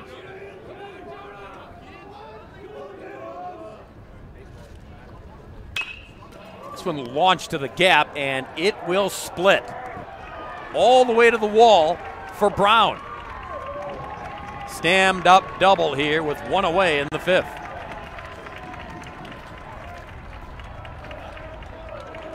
UConn just keeps on coming. And this is a pitch that is belt high, middle of the plate, and Brown stays back on it enough to gap it. And for Chris Brown, his ninth double of the season. Not one of the team's leaders, but when you have somebody like that as your number eight hitter, and as a freshman, really impressive stuff. He's known for his glove. He does a great job at the hot corner, but he splits the gaps. And now, if you're Jonah Smith in a one nothing game where Casparius is dealing, there's really no room to give up much more. See what Zach Bushling does. Off the end of the back, could be trouble. It is. Drops in for a base hit. Throw comes in. Runners at the corners now. First and third for the Huskies. And Bushling Well, he didn't mess around. Went right after that first offering from Smith and just did a little deposit job into left center. Yeah, just a flare. It's played well by the Creighton outfield. That's a situation where you got to get to that quickly, and I thought Webble did a nice job because if there's any issue, Jim Penders might be sending Brown. But now things set up. This is dangerous now. This is dangerous when your eight and nine hitters, the two weakest hitters on this club statistically, get on base because here comes the warden. Vilchis finds the baseball, keeps the runners at bay. Kyler Fedko went yard. Back in the fourth inning. Solo shot to right center that cleared the high brick wall out there. And yes, as John Fanta pointed out,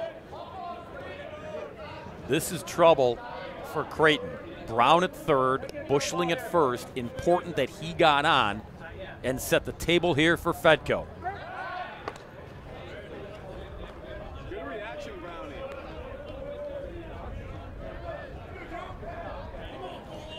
Well, you have to be really careful here because if it's any part of the strike zone, Tyler Fedko can do damage. You're looking for a ground ball. Try to turn two. That one, even the foul tip, had some anger. Here's the last AB. You see the swing. The helmet was off. Before he got the first, he points back to his dugout and says, I got you. And he gave them the lead. The only run of this contest so far.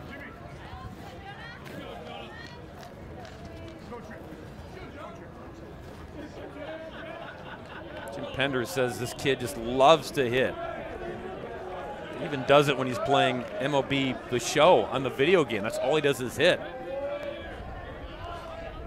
That's all he does. And he said, Follow me earlier in the dugout. Now they're trying to follow him for insurance. And a strike from Smith. He gets his nickname, the Warden, Tyler Fedko does, because last year he was calling five guys for an order. And he said, Oh, yeah, it's for Kyler. So the, the person that took the order said, Okay, uh, Skyler. Somehow an employee thought that was Sky Warden.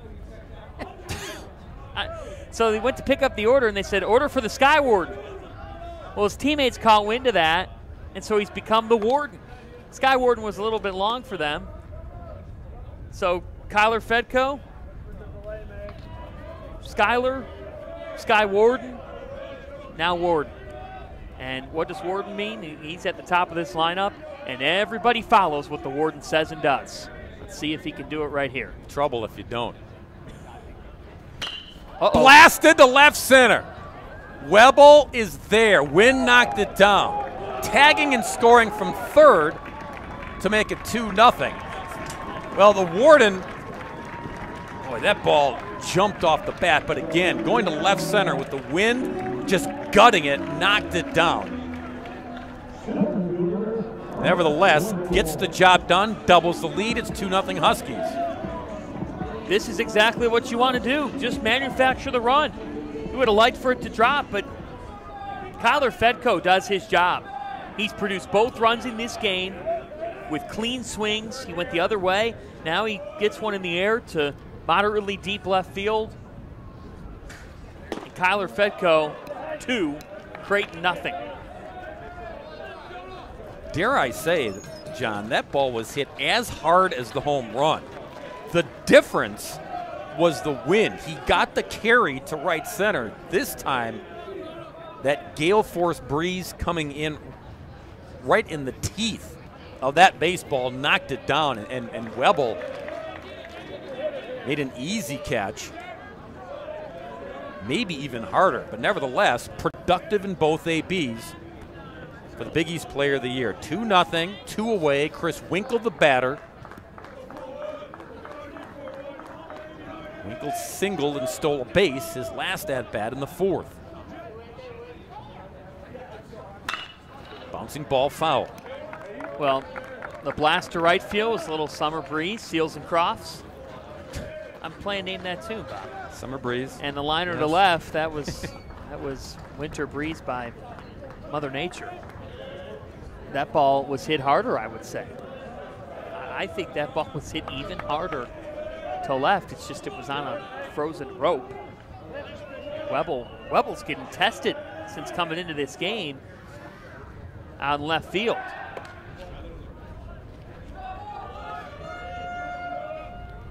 Told you at the outset, Mother Nature would be the opponent for both of these clubs. How can they handle the conditions? How do they make the adjustments? Count is two and one here to Winkel. Keeping an eye on Bushling, close eye. Well, this is now a position where if you are Creighton, you can't afford to go down by more than two, in my opinion. The UConn bullpen is loaded. And so even if Casparius doesn't keep going, and he's been rolling, he's got nine strikeouts, he, he's going to go as long as he wants to, as long as he's capable of. But if this game gets to the seventh inning and UConn still up 2 nothing, man, does it become tough for Creighton because the Huskies have the arms to close. Power arms, it's just a matter of command. Strike, check, but Jonas Smith hit the target. Count is full. Bushling will be off with the pitch here. Well, you're talking about one of the all-time hits leaders in UConn history with Chris Winkel up there. So it's a full count, but he just scraps. Be careful here if you're Jonah Smith. Don't leave it up. Oh, okay. He went up. And Jonah Smith says, needed that. He surrenders a run, but leaves a runner stranded. And we've got five in the books here in Mason, Ohio. It's Connecticut, 2 0. If your money is working toward the same goals, why keep it in different places? SoFi is a one stop shop for your finances, designed to work better together. Spend with SoFi and get cashback rewards that automatically go toward your goals, like investing in stocks, ETFs, and crypto. That's better together. Or pay down your SoFi debt sooner. That's better together. And that's how SoFi is helping millions get their money right.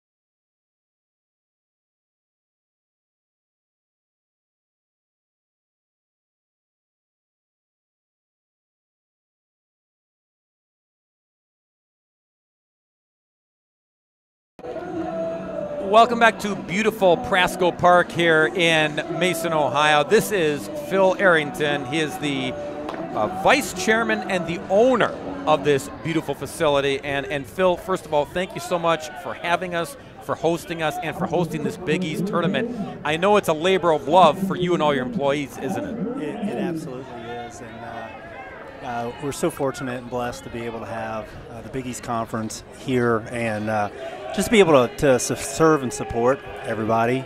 And uh, we, I think internally, we apologize for the cold weather, um, but we uh, um, are, are glad um, to to be here and uh, and and serve you guys.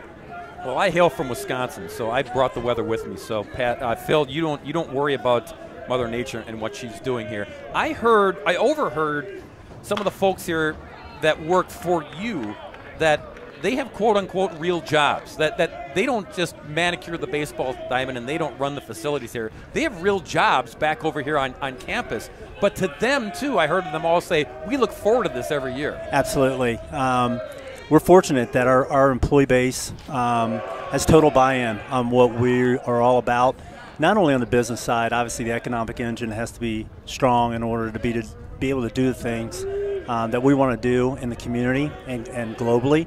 Um, but universally, our employees are tremendous. They're out here in all um, elements, and you're right. You know, we have people who are VPs of sales or uh, you know guys in our business uh, um, business development group, um, all the way down to um, you know our facilities people that are here long hours to make sure that when people come on this community, that they sense um, this is something different, and that um, the the Prasco Park experience and the Prasco experience is one that um, we've been fortunate. Our business in the pharmaceutical area has been tremendous. And even last year during the pandemic, we had a we had a phenomenal year, and we want to share those blessings with the community. And I think what you see here, even on a day like today, people they come out here because there are two things that we always uh, talk about: goodness and joy. We want to provide goodness and joy to everybody who comes on this campus. It may be a student athlete, it may be somebody associated with the Big East Conference. Um, their officials, the SIDs, all those individuals, but just the run-of-the-mill um, Mason um, you know, northeastern part of Cincinnati uh, community come out here and enjoy great level baseball and what we can provide here at Prasco Park. I know you want to give a shout out to the grounds crew because you look Absolutely. at this field and what it's been through. Yes. You know, the, the harsh elements, all the rain that fell yesterday as that ball falls for a base hit for Roden.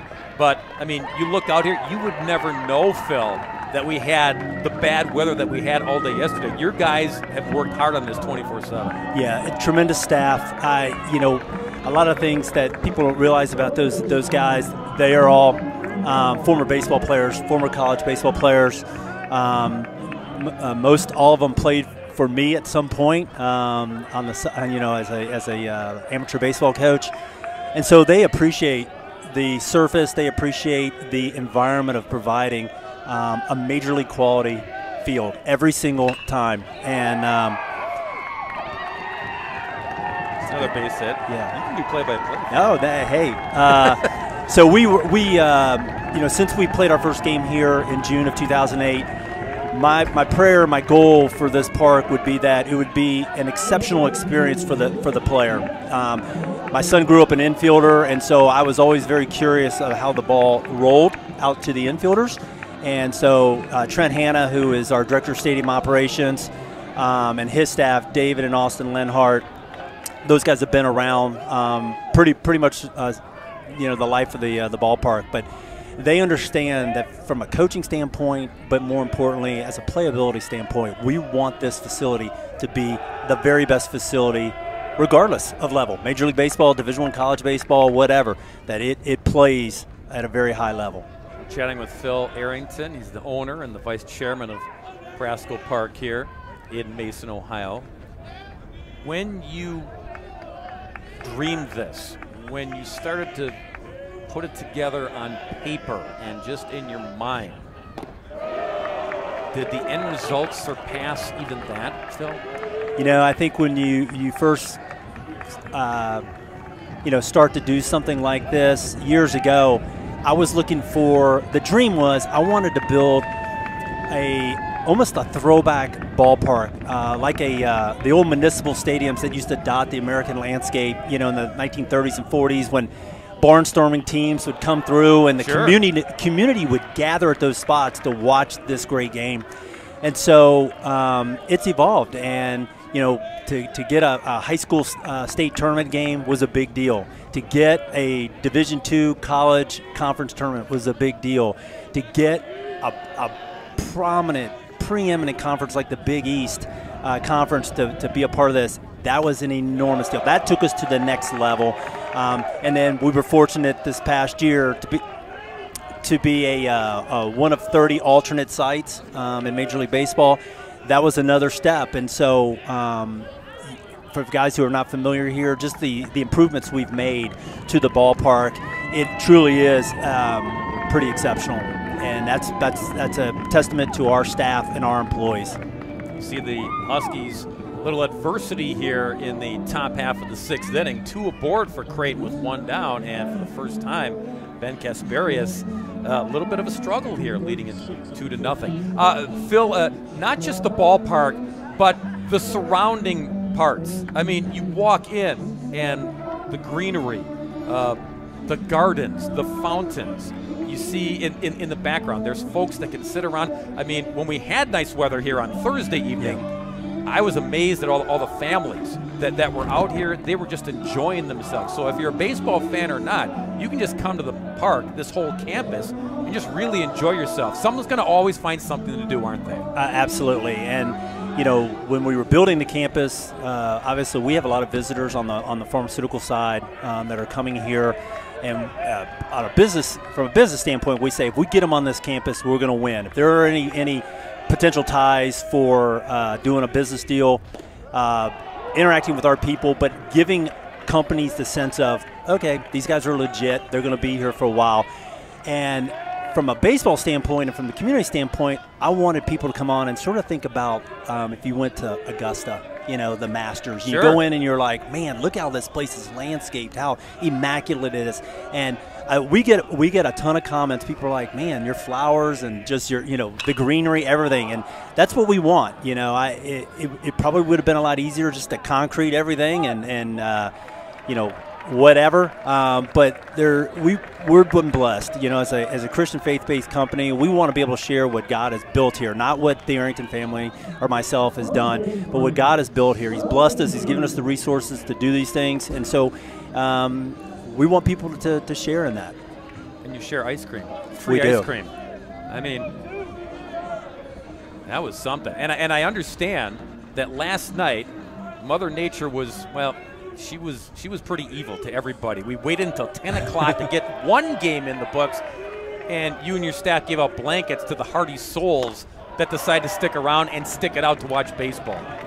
Yeah, that's um, those are the uh, the finer touches. You know, my background eh, on the business side has been in sales and marketing, and so you know, we we want to be uh, have a level of excellence that goes through and through, and and be, have a servant mindset. We're here to we continually say, hey, we're here to serve the people that come here, and so we looked out last night. We knew it was going to be brisk. Um, our staff, Jessica Miner, who who's in charge of our hospitality and events group, she's a just an awesome, awesome uh, employee and individual, and I consider you know uh, an additional daughter. Uh, she's like a family member. She came to me and she said, uh, um, she calls me coach or, or, or Mr. Arrington. She says, uh, you know, we have some extra blankets left over from the uh, from the spring. Would you? Are you okay with us passing these out? I said, absolutely. Get them out and, and let's take care of these the individuals that are here. And if it provides a little warmth, hey, that's awesome. And so. Um, you know, we've been fortunate, again, I'll say it again, to, to be able to do some different things. Having things that are complimentary, I think, sort of catches people off guard. It's like, wait, you know, the ice cream's free or the concession's free, and and you know, we're not doing it to to for any any uh, unneeded publicity. It's just who are who we are, or the DNA, and so that servant mindset. Whether I'm here, you know, one year, five years, ten years you know, 40 years from now. Uh, I learned that from my dad, who's still active in our business at 84, still works 55 hours uh, a week, and, and my younger brother Chris, uh, who's intimately uh, involved in the business side, is hey, um, you can't give yourself away. You just can't give your you can't give yourself away. So. Well, Phil, you put a lot of smiles on a lot of people's faces, and you continue to do that. Uh, again, thank you for hosting this tournament. Um, the weather's not your fault. Yeah. Everything else, outstanding. Thanks for stopping by. We appreciate it. It, it, it is our pleasure. Thank you for having me. That's Phil Arrington. Uh, you saw UConn wiggle out of the trouble. They still lead Creighton two to nothing.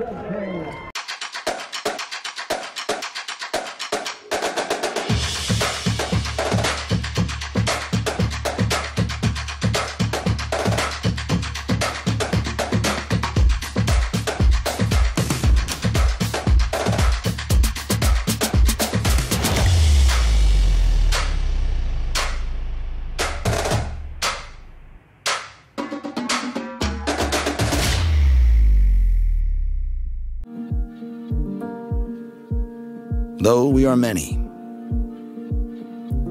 we are part of something. A force bigger than all of us. Our distinct fingerprints collectively shaping and forever changing what makes UConn, UConn. Forever making our mark. Forever making UConn a part of us. Well, the Blue Jays threatened to get that goose egg off of their side of the scoreboard, but left two stranded. Ben Casparius reared back to leave him stranded and preserve the 2 0 lead. As we head to the bottom of the sixth inning, Huskies will send up Stock, Pat Winkel, and Christian Fedko. It got a little dicey, John Fanta. But again, you talked about Casparius. As long as he wants to go, as long as he's assured that his stuff is still good and still genuine, then he'll stay out there. Jim Penders will leave him out there at 101 pitches, 10 strikeouts. We'll see if that is it or not. But Ben Casparius has done his part. And frankly, Jonas Smith has done his for Creighton. You can't expect perfection. Jonas Smith has given Creighton a good start. Let's see if he can keep it going here. But the Blue Jays are still very much in this game. They didn't cash in on the opportunity they just had. I wonder what happens when UConn gives it off to guys like Andrew Marrero and Caleb Wurster, a bullpen, Bob, that throws really hard. Stock leading off the sixth inning for the Huskies. Two runs on four hits for UConn. Creighton nothing on three.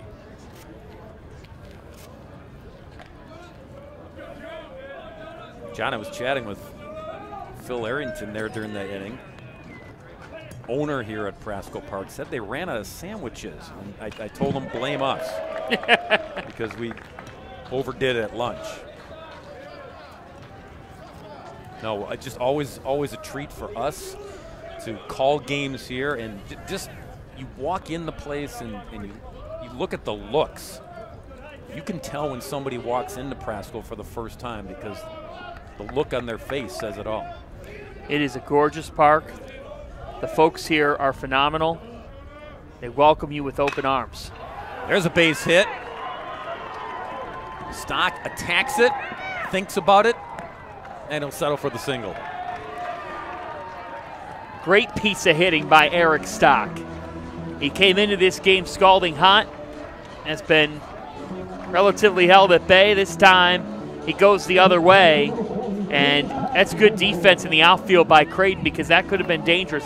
Stock made a big, big turn, and he is someone who I think with a 2 nothing lead, wouldn't be surprised if Jim Penders decides to get a little bit more risky, if you will, on the base paths. Try to extend it. Stock is 8 for 8 on the year. Yeah, Penders calls him instinctive on the base paths. This time lifted the left, and Webble new to the scene out there, playing it very comfortably.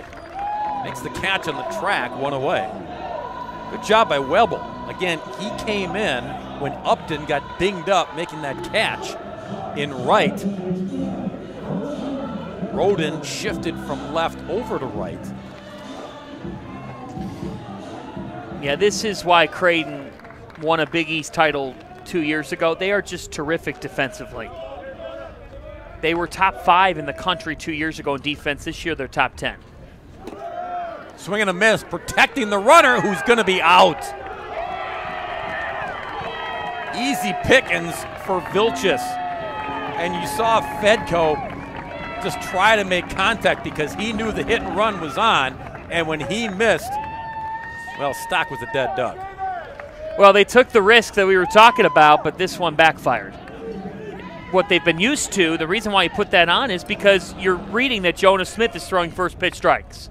Well, guess what? He, he didn't there, and it's to his fortune because now there's two down and he can work a quick inning. Just missing there, one and one. To your point, John, it, it wasn't a true pitch out, but in a sense, it acted like one. It, it gave Vilchis a chance to make the throw. But it's all the little things in the outfield defensively in this half inning, and how about just there? To throw out stock, make that play. This is a Creighton team that just simply does not give you extra outs. They are fundamentally sound, they're crisp in their approach, and they've got an uphill climb. but it's got to start in frames like these. These are the types of situations in games that get taken for granted. When you try to keep a game at 1 nothing or 2 nothing. Ooh, Jonah Smith taking steps towards the dugout. Two and two with two away, trying to wiggle out of the sixth inning here and preserve the deficit, if you will, at just 2 nothing.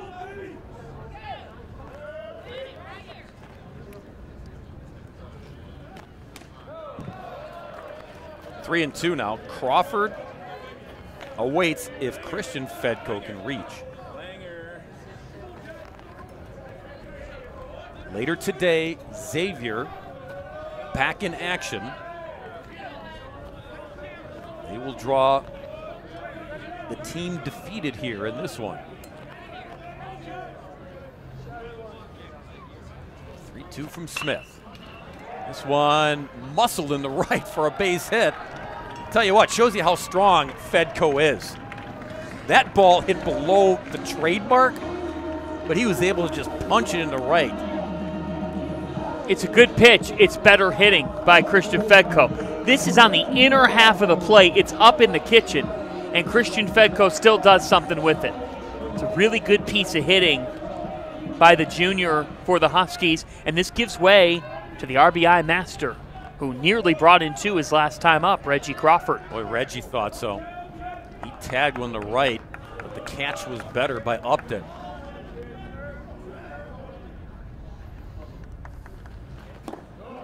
Down low, 1 0. Let's send it down to, to Mike Schmaltz. More on the injury to Upton. Yeah, guys, Parker Upton aggravated a hip injury that he's had for about three or four weeks on that great catch that he made, and they do not expect him back. All right, Mike, thanks. So we're going to miss. Well, that's especially big if Creighton loses this game because then you're going into a, a win or go home game with your season on the line against Xavier and you don't have your leadoff hitter. And for Upton, if you're that hip is already tweaked, that was a bad way. I mean, he made the catch, but there's nowhere to run and tuck and roll and try to get out of the way to preserve the hip. And that's why he was shaken up. He knew it instantly. This has been one good first meeting between these two teams. Long awaited, first ever meeting between Creighton and UConn, and worth the wait. We've just had a quality baseball game. Fundamentals executed, pitching nearly flawless, and some timely hits sprinkled in. And really, the difference offensively is Kyler Fedko. Yeah, yeah the Big East Player of the Year showing why, right? You write a script that that would be it uh, for a pitcher's duel. Where okay, where's the offense coming from? Well, how about the best player in the Big East this season? Upstairs, Crawford didn't go after it, so it's two and two. Found this fascinating about Reggie. He's more of a swimmer in high school. So he has been late to the baseball party. But I'll tell you what, he is catching up in a hurry. Way outside, three and two. He's got a chance to make a living for a long time playing this game. And he is a superb athlete. He often beats Jim Penders to the hotel gym early in the morning. He'll be in there working out at 6:30. The commitment to the game is evident when you look at the results. 56 runs batted in in 45 games. Swing and a miss. Down that time. Smith challenges Crawford and wins the battle. To the seventh inning we go here in Mason, Ohio. It's UConn 2, Creighton nothing. This Big East battle continues at Prasco.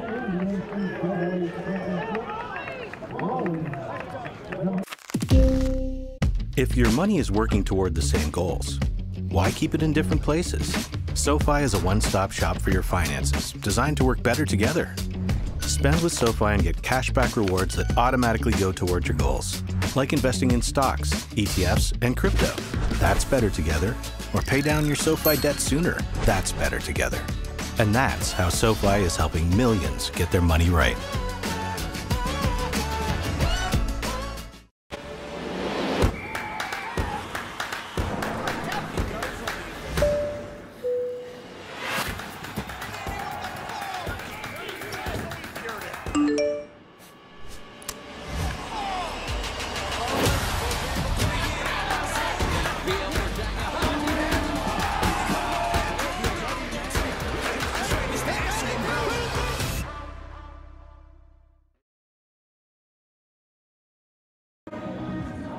Ben Casparius up and over the century mark.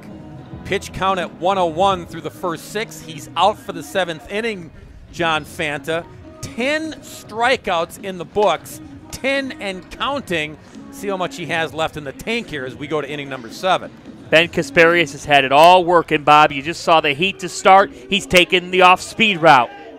He's painted the outside corner of the plate. That has been the common theme. You look at all these strikeouts, that one down low in the zone. That one was over the middle of the plate, and he has great emotion. Jim Penders told us he's scared at times to take him out of a game. Well, guess what? At 101 pitches, he's keeping him in as we start the seventh. Now, how long is the leash? That is the question. Could be a batter that reaches. That might be it. Bullpen is stirring for UConn. But right now, just stirring. Nobody throwing.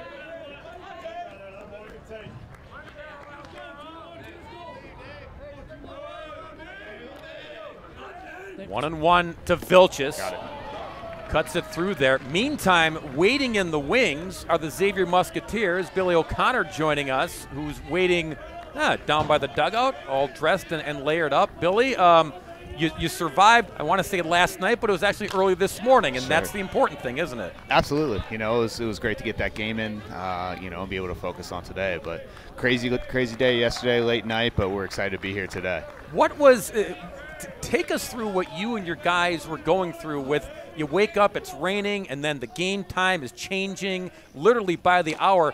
How do you keep everybody and yourself motivated and mentally focused on, okay, are we playing or not? For sure, that's that's the biggest concern. Is that you know doubt starts to creep into to everyone's mind that this game might not get played. You know, you're looking at the radar and there's there's rain for a long time throughout the course of the day. But you know, the, the biggest thing was convincing and, and honestly telling the guys the truth. We were going to play. You know, and talking with James Green with the, the Big East, the game needed to be played last night, and, and we were certainly open to playing whenever the game was, uh, whenever the window was there for us to play. So. Um, you know, it's a long day. You never like sitting around the hotel, told them to get up and move around when there's some breaks in the rain to make sure that they weren't just laying in bed all day. But you know, we came over here, played some mafia out in the uh, the tent out in the right center, and, and had a good time with it. Wow, I haven't heard in the game Mafia in a while. That's, yeah, no kidding. That's back to the old camp days growing up. That's some good stuff, Billy. John Fanta here, and you had Lane Flam go seven innings of two-run ball. Then you give it to Michael Dillon, and then off to Mr. Musketeer, Trey Schramm, who's been the closer before. He's gotten wins for you in this tournament. To get that type of pitching, and they only allow two runs, your bullpen doesn't get taxed at all. Just how pleased with you with the way that your pitching can set up the rest of the way. Yeah, for sure. You know, that's something that we really feel good about with our roster right now is our pitching depth, you know, and it's never good to lose the first game in a tournament, but the, the beauty about this tournament is it's four teams. You don't have to win six or seven games to come back and win it. And with where we're at with our pitching depth, especially having, you know, played four games all year and had four starters and know what that feels like to have to win or have to play four games with the bullpen, um, each weekend this year, it's something we're accustomed to, you know. And again, we're up against it a little bit. We're going to have to win one today and two tomorrow to get it done. But I really feel like we have the pitching depth to do it. If guys go out and do what they're capable of doing, and we're swinging the bats pretty well right now, um, I think we're in a good position to, to win these next three. Billy, in 2009, when you were a player, you led this program to history. That first NCAA tournament berth and A10 titles. That's a 12th strikeout for Ben Casparius. Before we let you go, as somebody who has really eat, you sleep, you breathe Xavier baseball.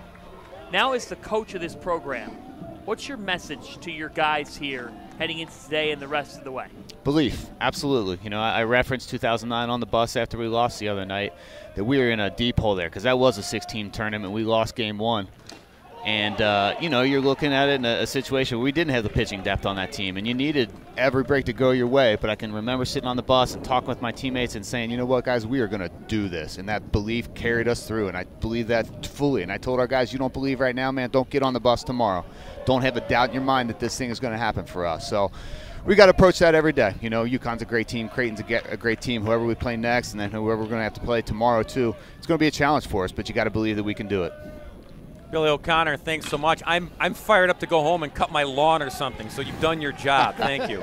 awesome, guys. I appreciate it.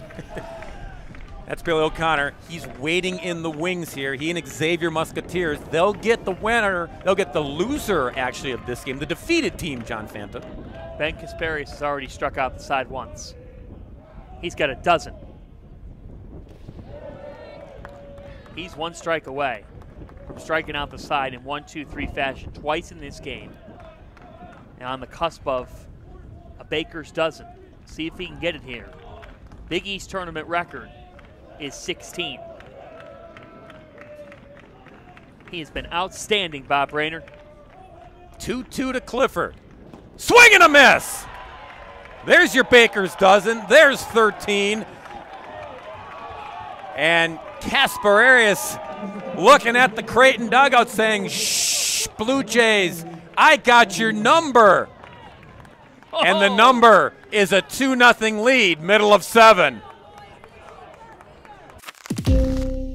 If your money is working toward the same goals, why keep it in different places? SoFi is a one stop shop for your finances, designed to work better together. Spend with SoFi and get cashback rewards that automatically go towards your goals, like investing in stocks, ETFs, and crypto. That's better together.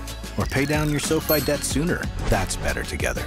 And that's how SoFi is helping millions get their money right.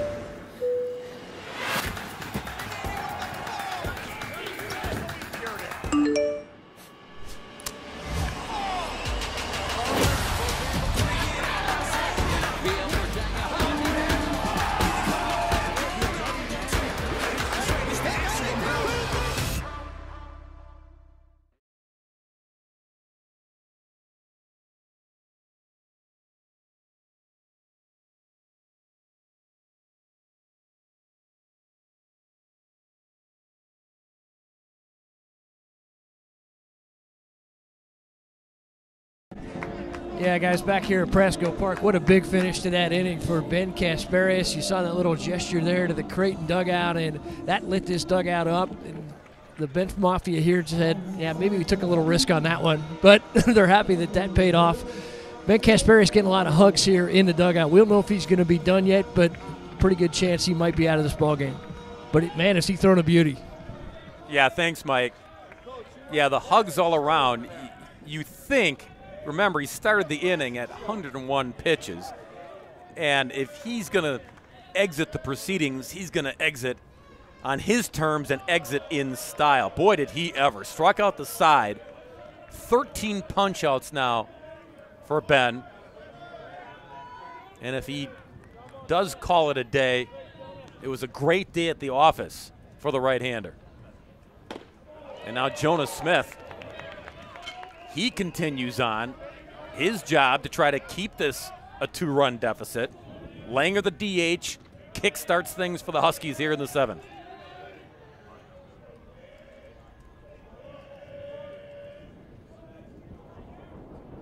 One one. And you saw the shush by Casparius going back to the dugout We've mentioned it, John Fanta. They didn't get to meet during the season. They finally meet here in late May. And the rivalry, it's on. It's real. Fished at it. Langer down to a knee, trying to make something out of nothing, and he can't. One up and one down here in the seventh inning. Well, That's nine Ks now for Jonas Smith, John. If not for Casparius, we'd be talking about Jonas Smith even more. This is an outstanding pitcher's duel. we've been treated to it. And again, we're watching two guys who are not the aces of their staffs. They've delivered better performances. These are the best two performances we've seen in this tournament thus far. Yeah, clearly. Brown cuts through the first pitch. Brown doubled and scored in the fifth inning. May prove to be a huge run. As Creighton, can they get to what we think will be the UConn bullpen?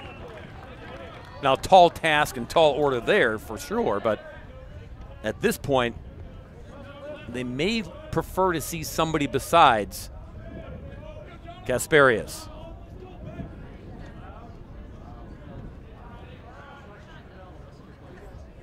One one to Brown. That's a base hit to left. Brown having a day. He's two for three. He's aboard with one away for Bushling, and and again, you know what that means. Bushling at the plate, Kyler Fedko on deck.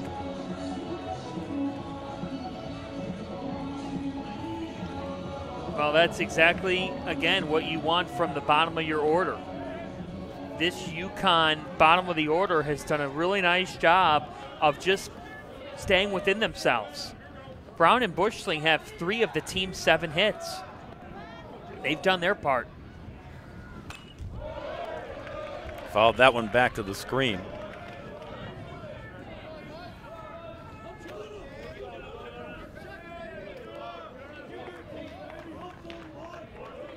Yeah, go back to Bushling when he singled in the fifth inning.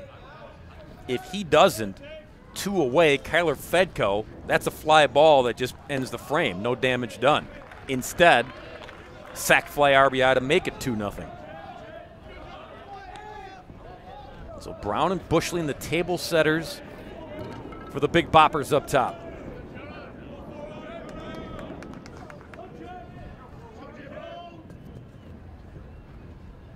Smith nods. The 1 1. Bouncing ball off the glove of Hayes. Recovers, throws, and nice recovery there by Jonas Smith to get there in a hurry. Hayes couldn't glove it cleanly. It took some funny English off the leather. But Jonas Smith, heady off the mound to cover.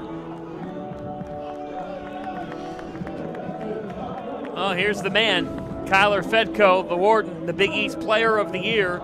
He's the difference in this game with a home run in the fourth inning and an RBI sac fly in the fifth. He makes the most of his at bats, and here's a chance to get a third.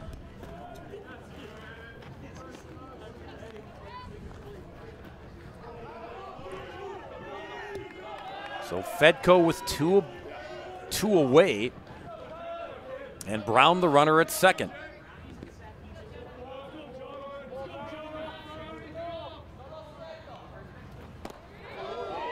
And a strike from Smith. Goes without saying, but I'll say it anyway. That run at second would be huge for UConn. Pad their lead to three to nothing. As we get to the late stages, just six outs remaining for Creighton. So Fedko trying to find a way. He's found it before. Takes a rip and it goes foul. He has a really unique personality. He's just a baseball guy. And around his teammates, he's making those corny jokes at times in the dugout that just keep a team going. And I just think back to the phrase that Mike Schmoltz told us from the UConn dugout that he said earlier follow me. That's the type of player you need in the postseason, mentally. Boy, Smith, he got him. And he barks not at the UConn dugout, but his own. Saying, I'll take care of business here. You guys take care of business at the plate. This is rivalry baseball. This is Big East baseball. It's intense. It's got some trash talk. Hey, I don't mind it. It's awesome. If your money is working toward the same goals, why keep it in different places? SoFi is a one stop shop for your finances, designed to work better together. Spend with SoFi and get cashback rewards that automatically go toward your goals, like investing in stocks, ETFs, and crypto. That's better together. Or pay down your SoFi debt sooner. That's better together. And that's how SoFi is helping millions get their money right.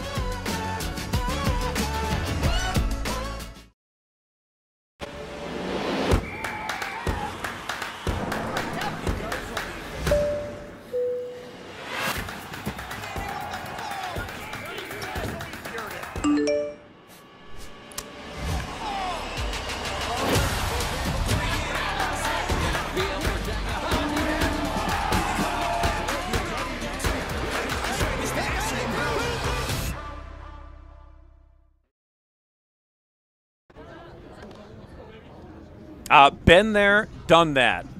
We were accurate. The day is done for Ben Casparius, John.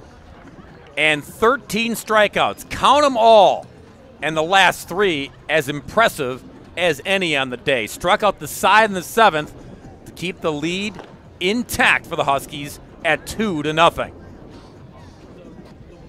Casparius was dealing up and over 100 pitches. And now he gives way for the final six outs, at least first three here in the eighth inning. It's the right hander, Justin Willis. Jim Penders says he's an undersized righty. However, he's got guts and courage when he pitches. Good numbers there. Good ERA. Keeps the walks in check. Strikeouts at 15. Transfer from Vanderbilt. So that tells you what you need to know about the upside for Justin Willis. New Jersey kid, now in his junior season. He missed all of last year, even in the shortened season. He had an injury.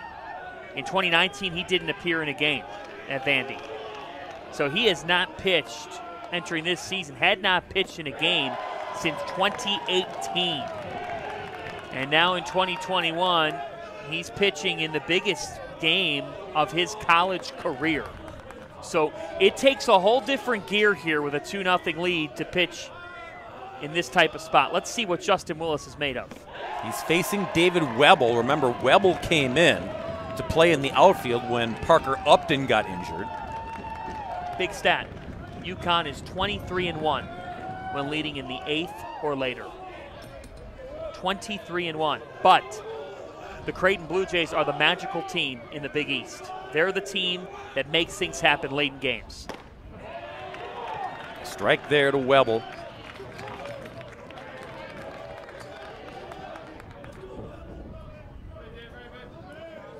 First AB for Webble since coming on.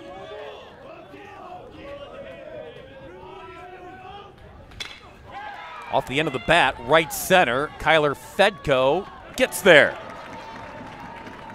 And there is out number one here in the eighth inning. It'll bring up Meggs, the second baseman. This is an old school game. Old school baseball on a Saturday afternoon.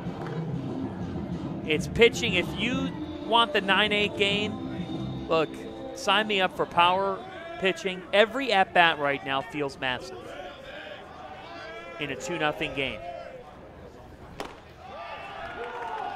First pitch strike to Meggs, 0 for 3 today. Willis has a, a, tough arm slot to read out of the hand.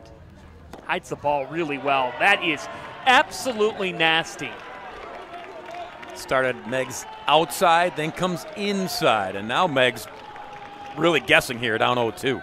Well, Meggs asked the umpire, Brian Drury, if it was a strike. He said, no doubt. Swings away. Down the line at third. Brown crossed the diamond and in time with Crawford picking it at first. Two away. Yeah, th- this is a bullpen. I, I, brought it up earlier, but I, I, really think it needs to be said. Here comes Jim Penders. And it looks like he's going to make a move. And you know why he might make a move? Yeah, he's going to make a move to Caleb Wurster for a four out save. So Justin Willis did his part. He's going to play the matchups here and they want lefty on lefty. They want Caleb Wurster for a four-out save to face Alan Roden, a lefty. They want Wurster to get the third out in this inning and then get the three in the ninth. Bob, this really is something that's important here. We brought it up. If UConn had a late lead, it becomes really difficult for the opponent. This is a Huskies bullpen that has Justin Willis, Caleb Wurster, who's coming into this game and has been dominant, Andrew Marrero, a true freshman who I think has as a tough of an arm from a freshman perspective as anybody in the league. Kenny House, who's a senior as well. Garrett Coe, who we saw earlier this week. I, I think that that's where UConn's st- strength is. There's not as much separation as one might think from one Big East team to another. But where UConn separates themselves is here, is that Jim Penders can say, okay, Justin Willis, you're going to get me two outs. Uh, then I'll give the ball to Caleb Wurster, and then I'll go to somebody else. He's got tons of options. It's a bullpen that's capable of winning a tournament and winning a regional in the NCAAs. That's what makes a difference in an NCAA regional is do you have bullpen arms when you get to the fifth inning to get you outs? UConn has the arms to do that.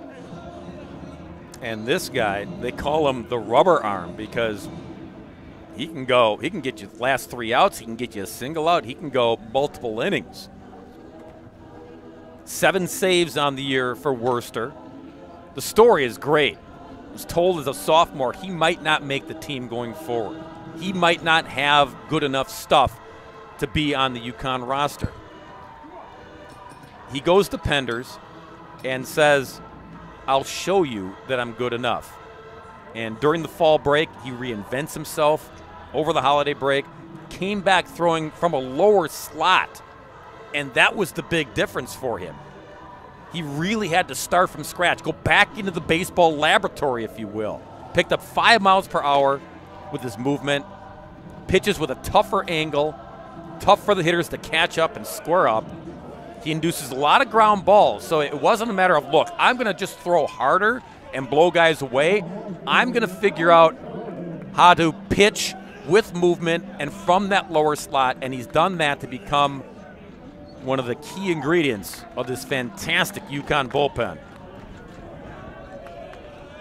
So Wurster on to face Roden. Roden's been on all three times today. Couple of singles and a walk. With no runs on the scoreboard, obviously, Roden stranded all three times. He'll try to find another way here with nobody on and two down. Roller to second. Fedko is there. Side retired. Willis and Wurster combining, tag teaming, if you will, to close out the eighth inning. The Huskies closer to a championship game bid. If your money is working toward the same goals, why keep it in different places? SoFi is a one stop shop for your finances, designed to work better together. Spend with SoFi and get cashback rewards that automatically go toward your goals, like investing in stocks, ETFs, and crypto. That's better together. Or pay down your SoFi debt sooner. That's better together. And that's how SoFi is helping millions get their money right.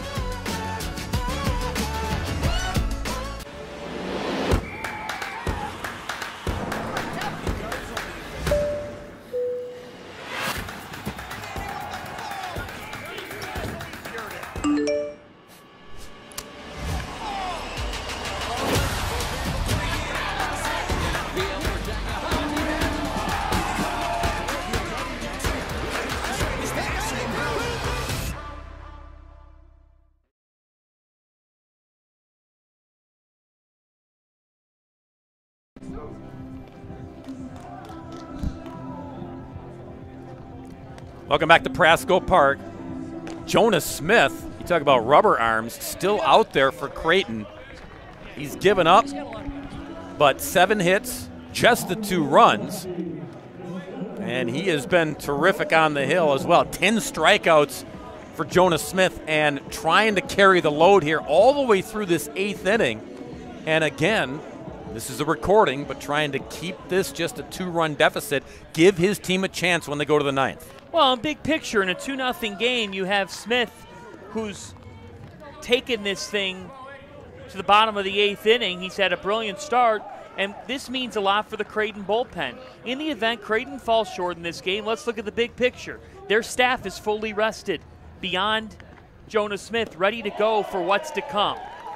So I, I think that the, the biggest thing is right now, you put up a zero and you hope that you get that leadoff man aboard in the top of the ninth inning. It's been tough for Creighton's bats, but Jonah Smith has been exceptional this afternoon. And for more on Jonah, let's head down to Mike in the dugout. Yeah, talked with Ed Servais there and asked him if he was going to bring Jonah back, and he said absolutely. He goes, he's a senior, he's earned this opportunity. This is one of his last chances, so he's going to let him finish this game if he can. All right, Mike, thanks. Important note there, Ed Servais, tip of the cap to his senior, but also to John Fanta's point, maybe thinking big picture, not waving the white flag here, but you're thinking big picture. All right, if we have to play later today, bullpen, all arms on the ready and available. Two and one here to Chris Winkel. It'll be Winkel, Stock, and then Pat Winkel here as the Huskies look for some insurance.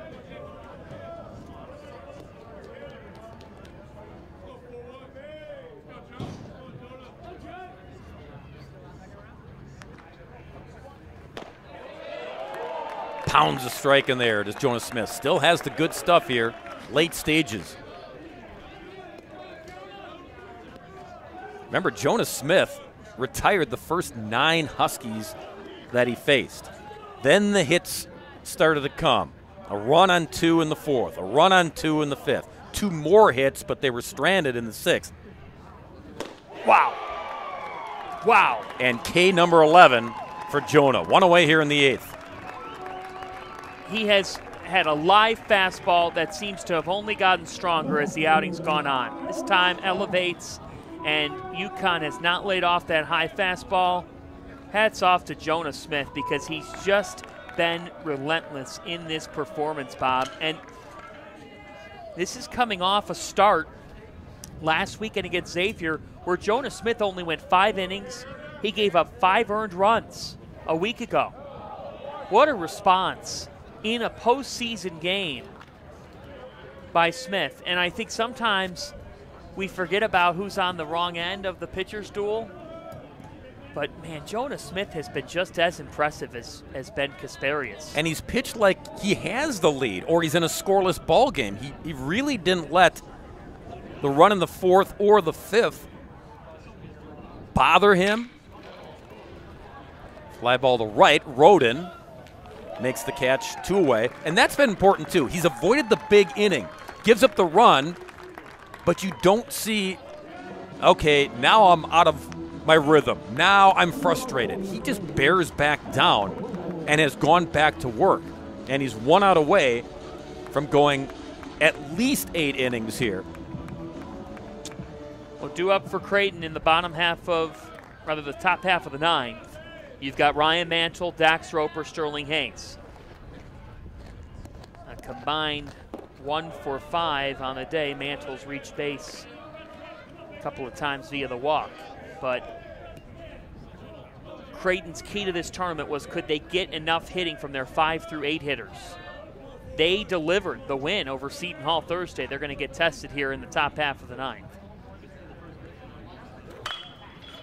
This one lifted high in the air, right center. Outfielders converging, and off the wall goes Hannafin, who almost made the catch. That would have been highlight reel stuff. Hannafin was there it got a piece of the leather, and that almost ended the eighth inning in style. This close, John Fanta. Yeah, Hannafin makes the run for it. this gets glove. Yes, it did. Hit the heel. Oh, my. That nearly was second outstanding catch. And here's Ed Servais and he is going to leave his man in. Man, I appreciate a skipper continuing to have the faith in his pitcher, Jonah Smith, and letting him define how this inning wraps up. And we just talked about how Jonah has been able to keep himself even keeled despite the run in the fourth, despite an added run in the fifth. Now he just needed that little pep talk from his head coach. Stay the course, get this last out. Christian Fedko at the dish.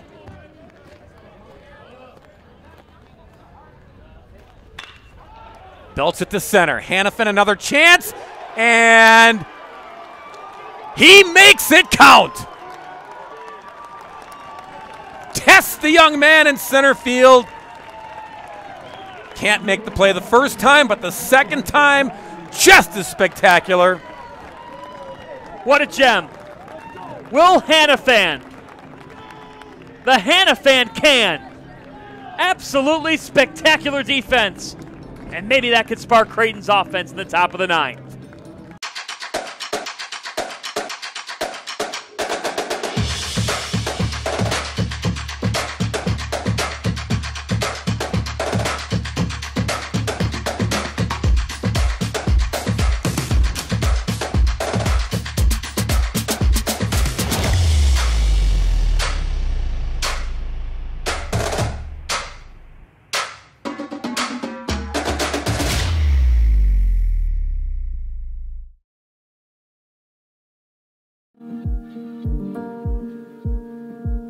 We are many,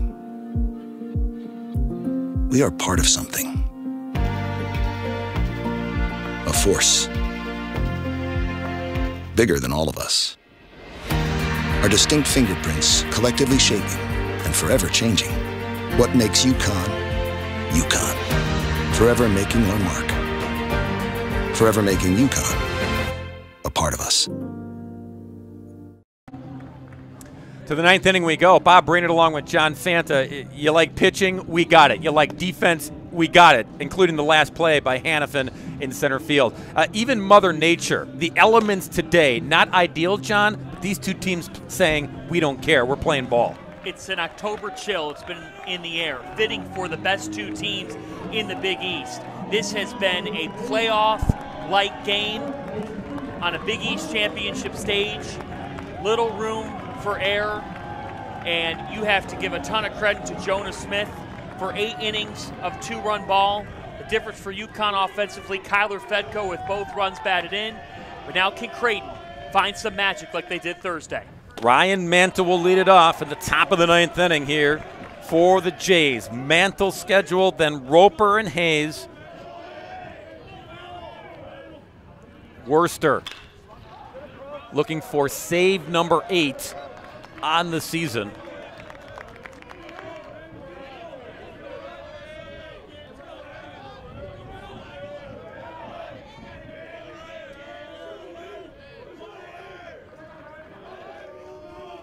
He showed incredible will and willpower to have that convo with Jim Penders and say, look, I'll put in the work and I'll show you not only will I be on this roster, but I will be a key contributor.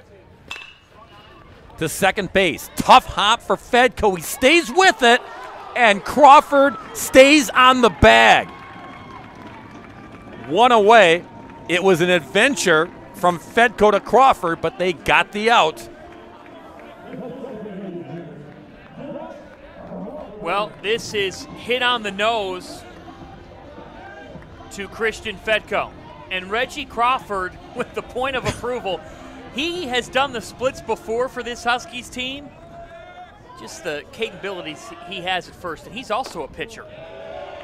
We can't forget to mention what he does off the mound as well, but a great stretch for the first out. And now you have a hitter in Dax Roper who is one for his last 21.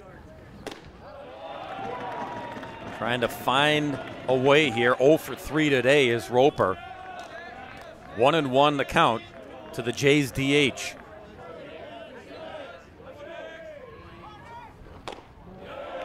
Two and one. Hayes will be next.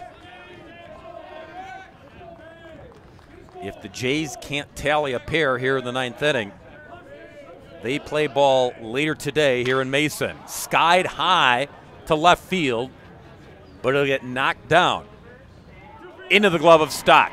Two away. That game, by the way, Xavier game scheduled for 4 p.m. Eastern Time.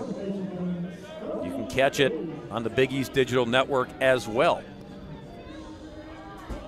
The winner calls it a day and knows they have a date for the Big East Championship on Sunday afternoon.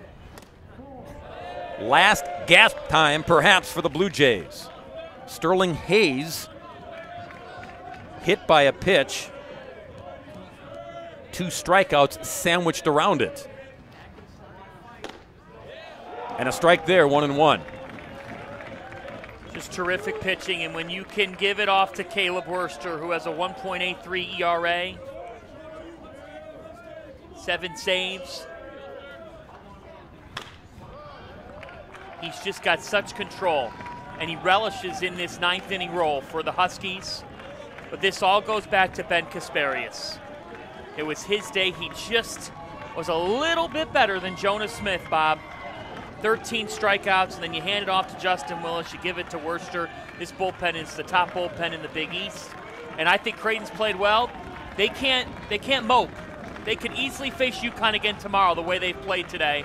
They got a tough Xavier team waiting if this does in fact close out. The one-two. Pat Winkel and that UConn dugout. They thought ball game. We play on, two and two.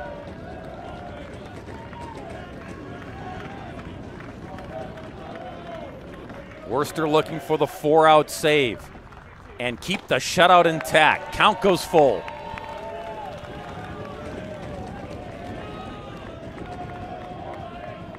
Willis got the first two outs of the eighth inning. Wurster got the last. He's got two outs here in the ninth.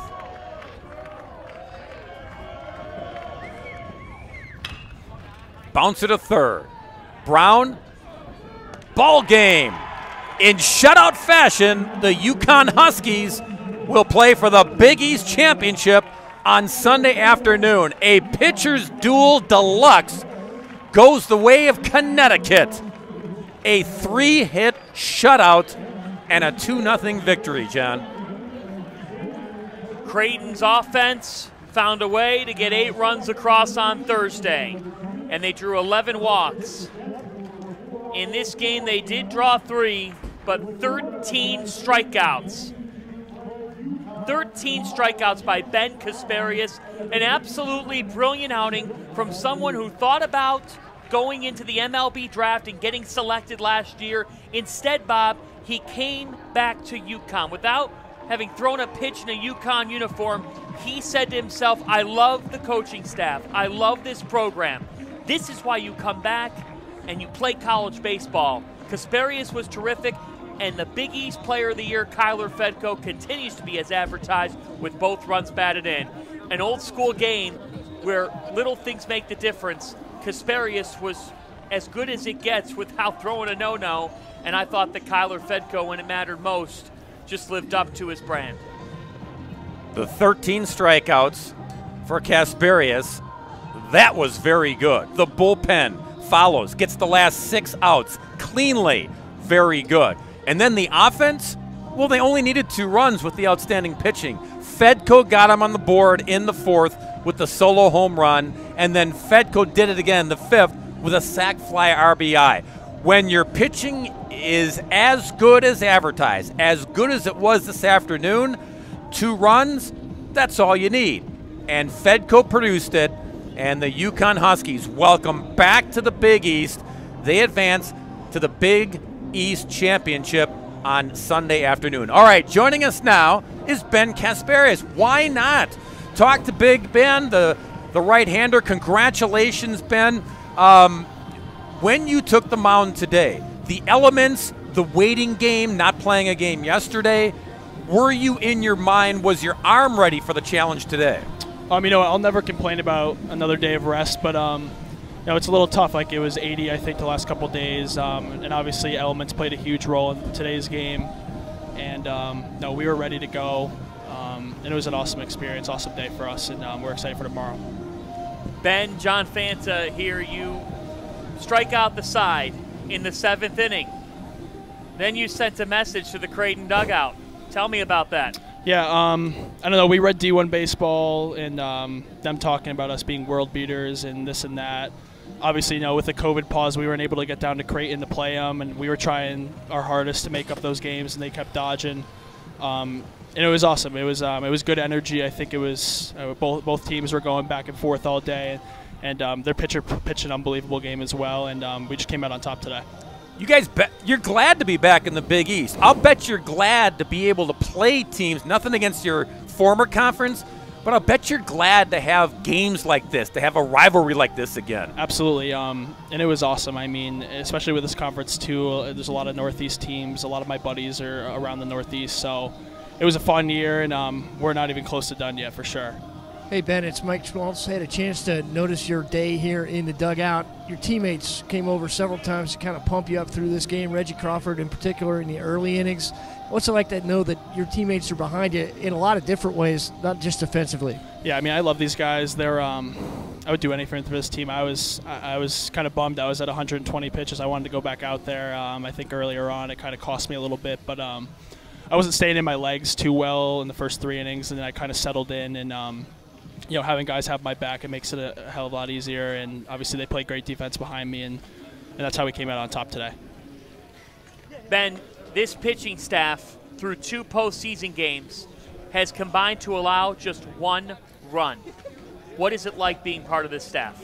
I mean, it's awesome. Coach Mack does a really good job, and um, it's a veteran staff. I would say everybody's everybody's really prepared going in, and we're getting used to being on the road. We spent the first five weeks traveling all over the country and I think we're prepared for this, and I think we might be more prepared than any team in the country to kind of face those types of things. But um, it's been awesome, and especially because our, our offense prior to this game put up, I think, 10 plus runs um, in the last six games. It's good to see our pitching, you know, just shut down too and, and give our offense some comfort as well. Ben, you did your part and you did it well. Congratulations, and you, my friend, are in the Big East Championship tomorrow. Yes, Relish sir. it and you. enjoy it. That's Ben Casparius.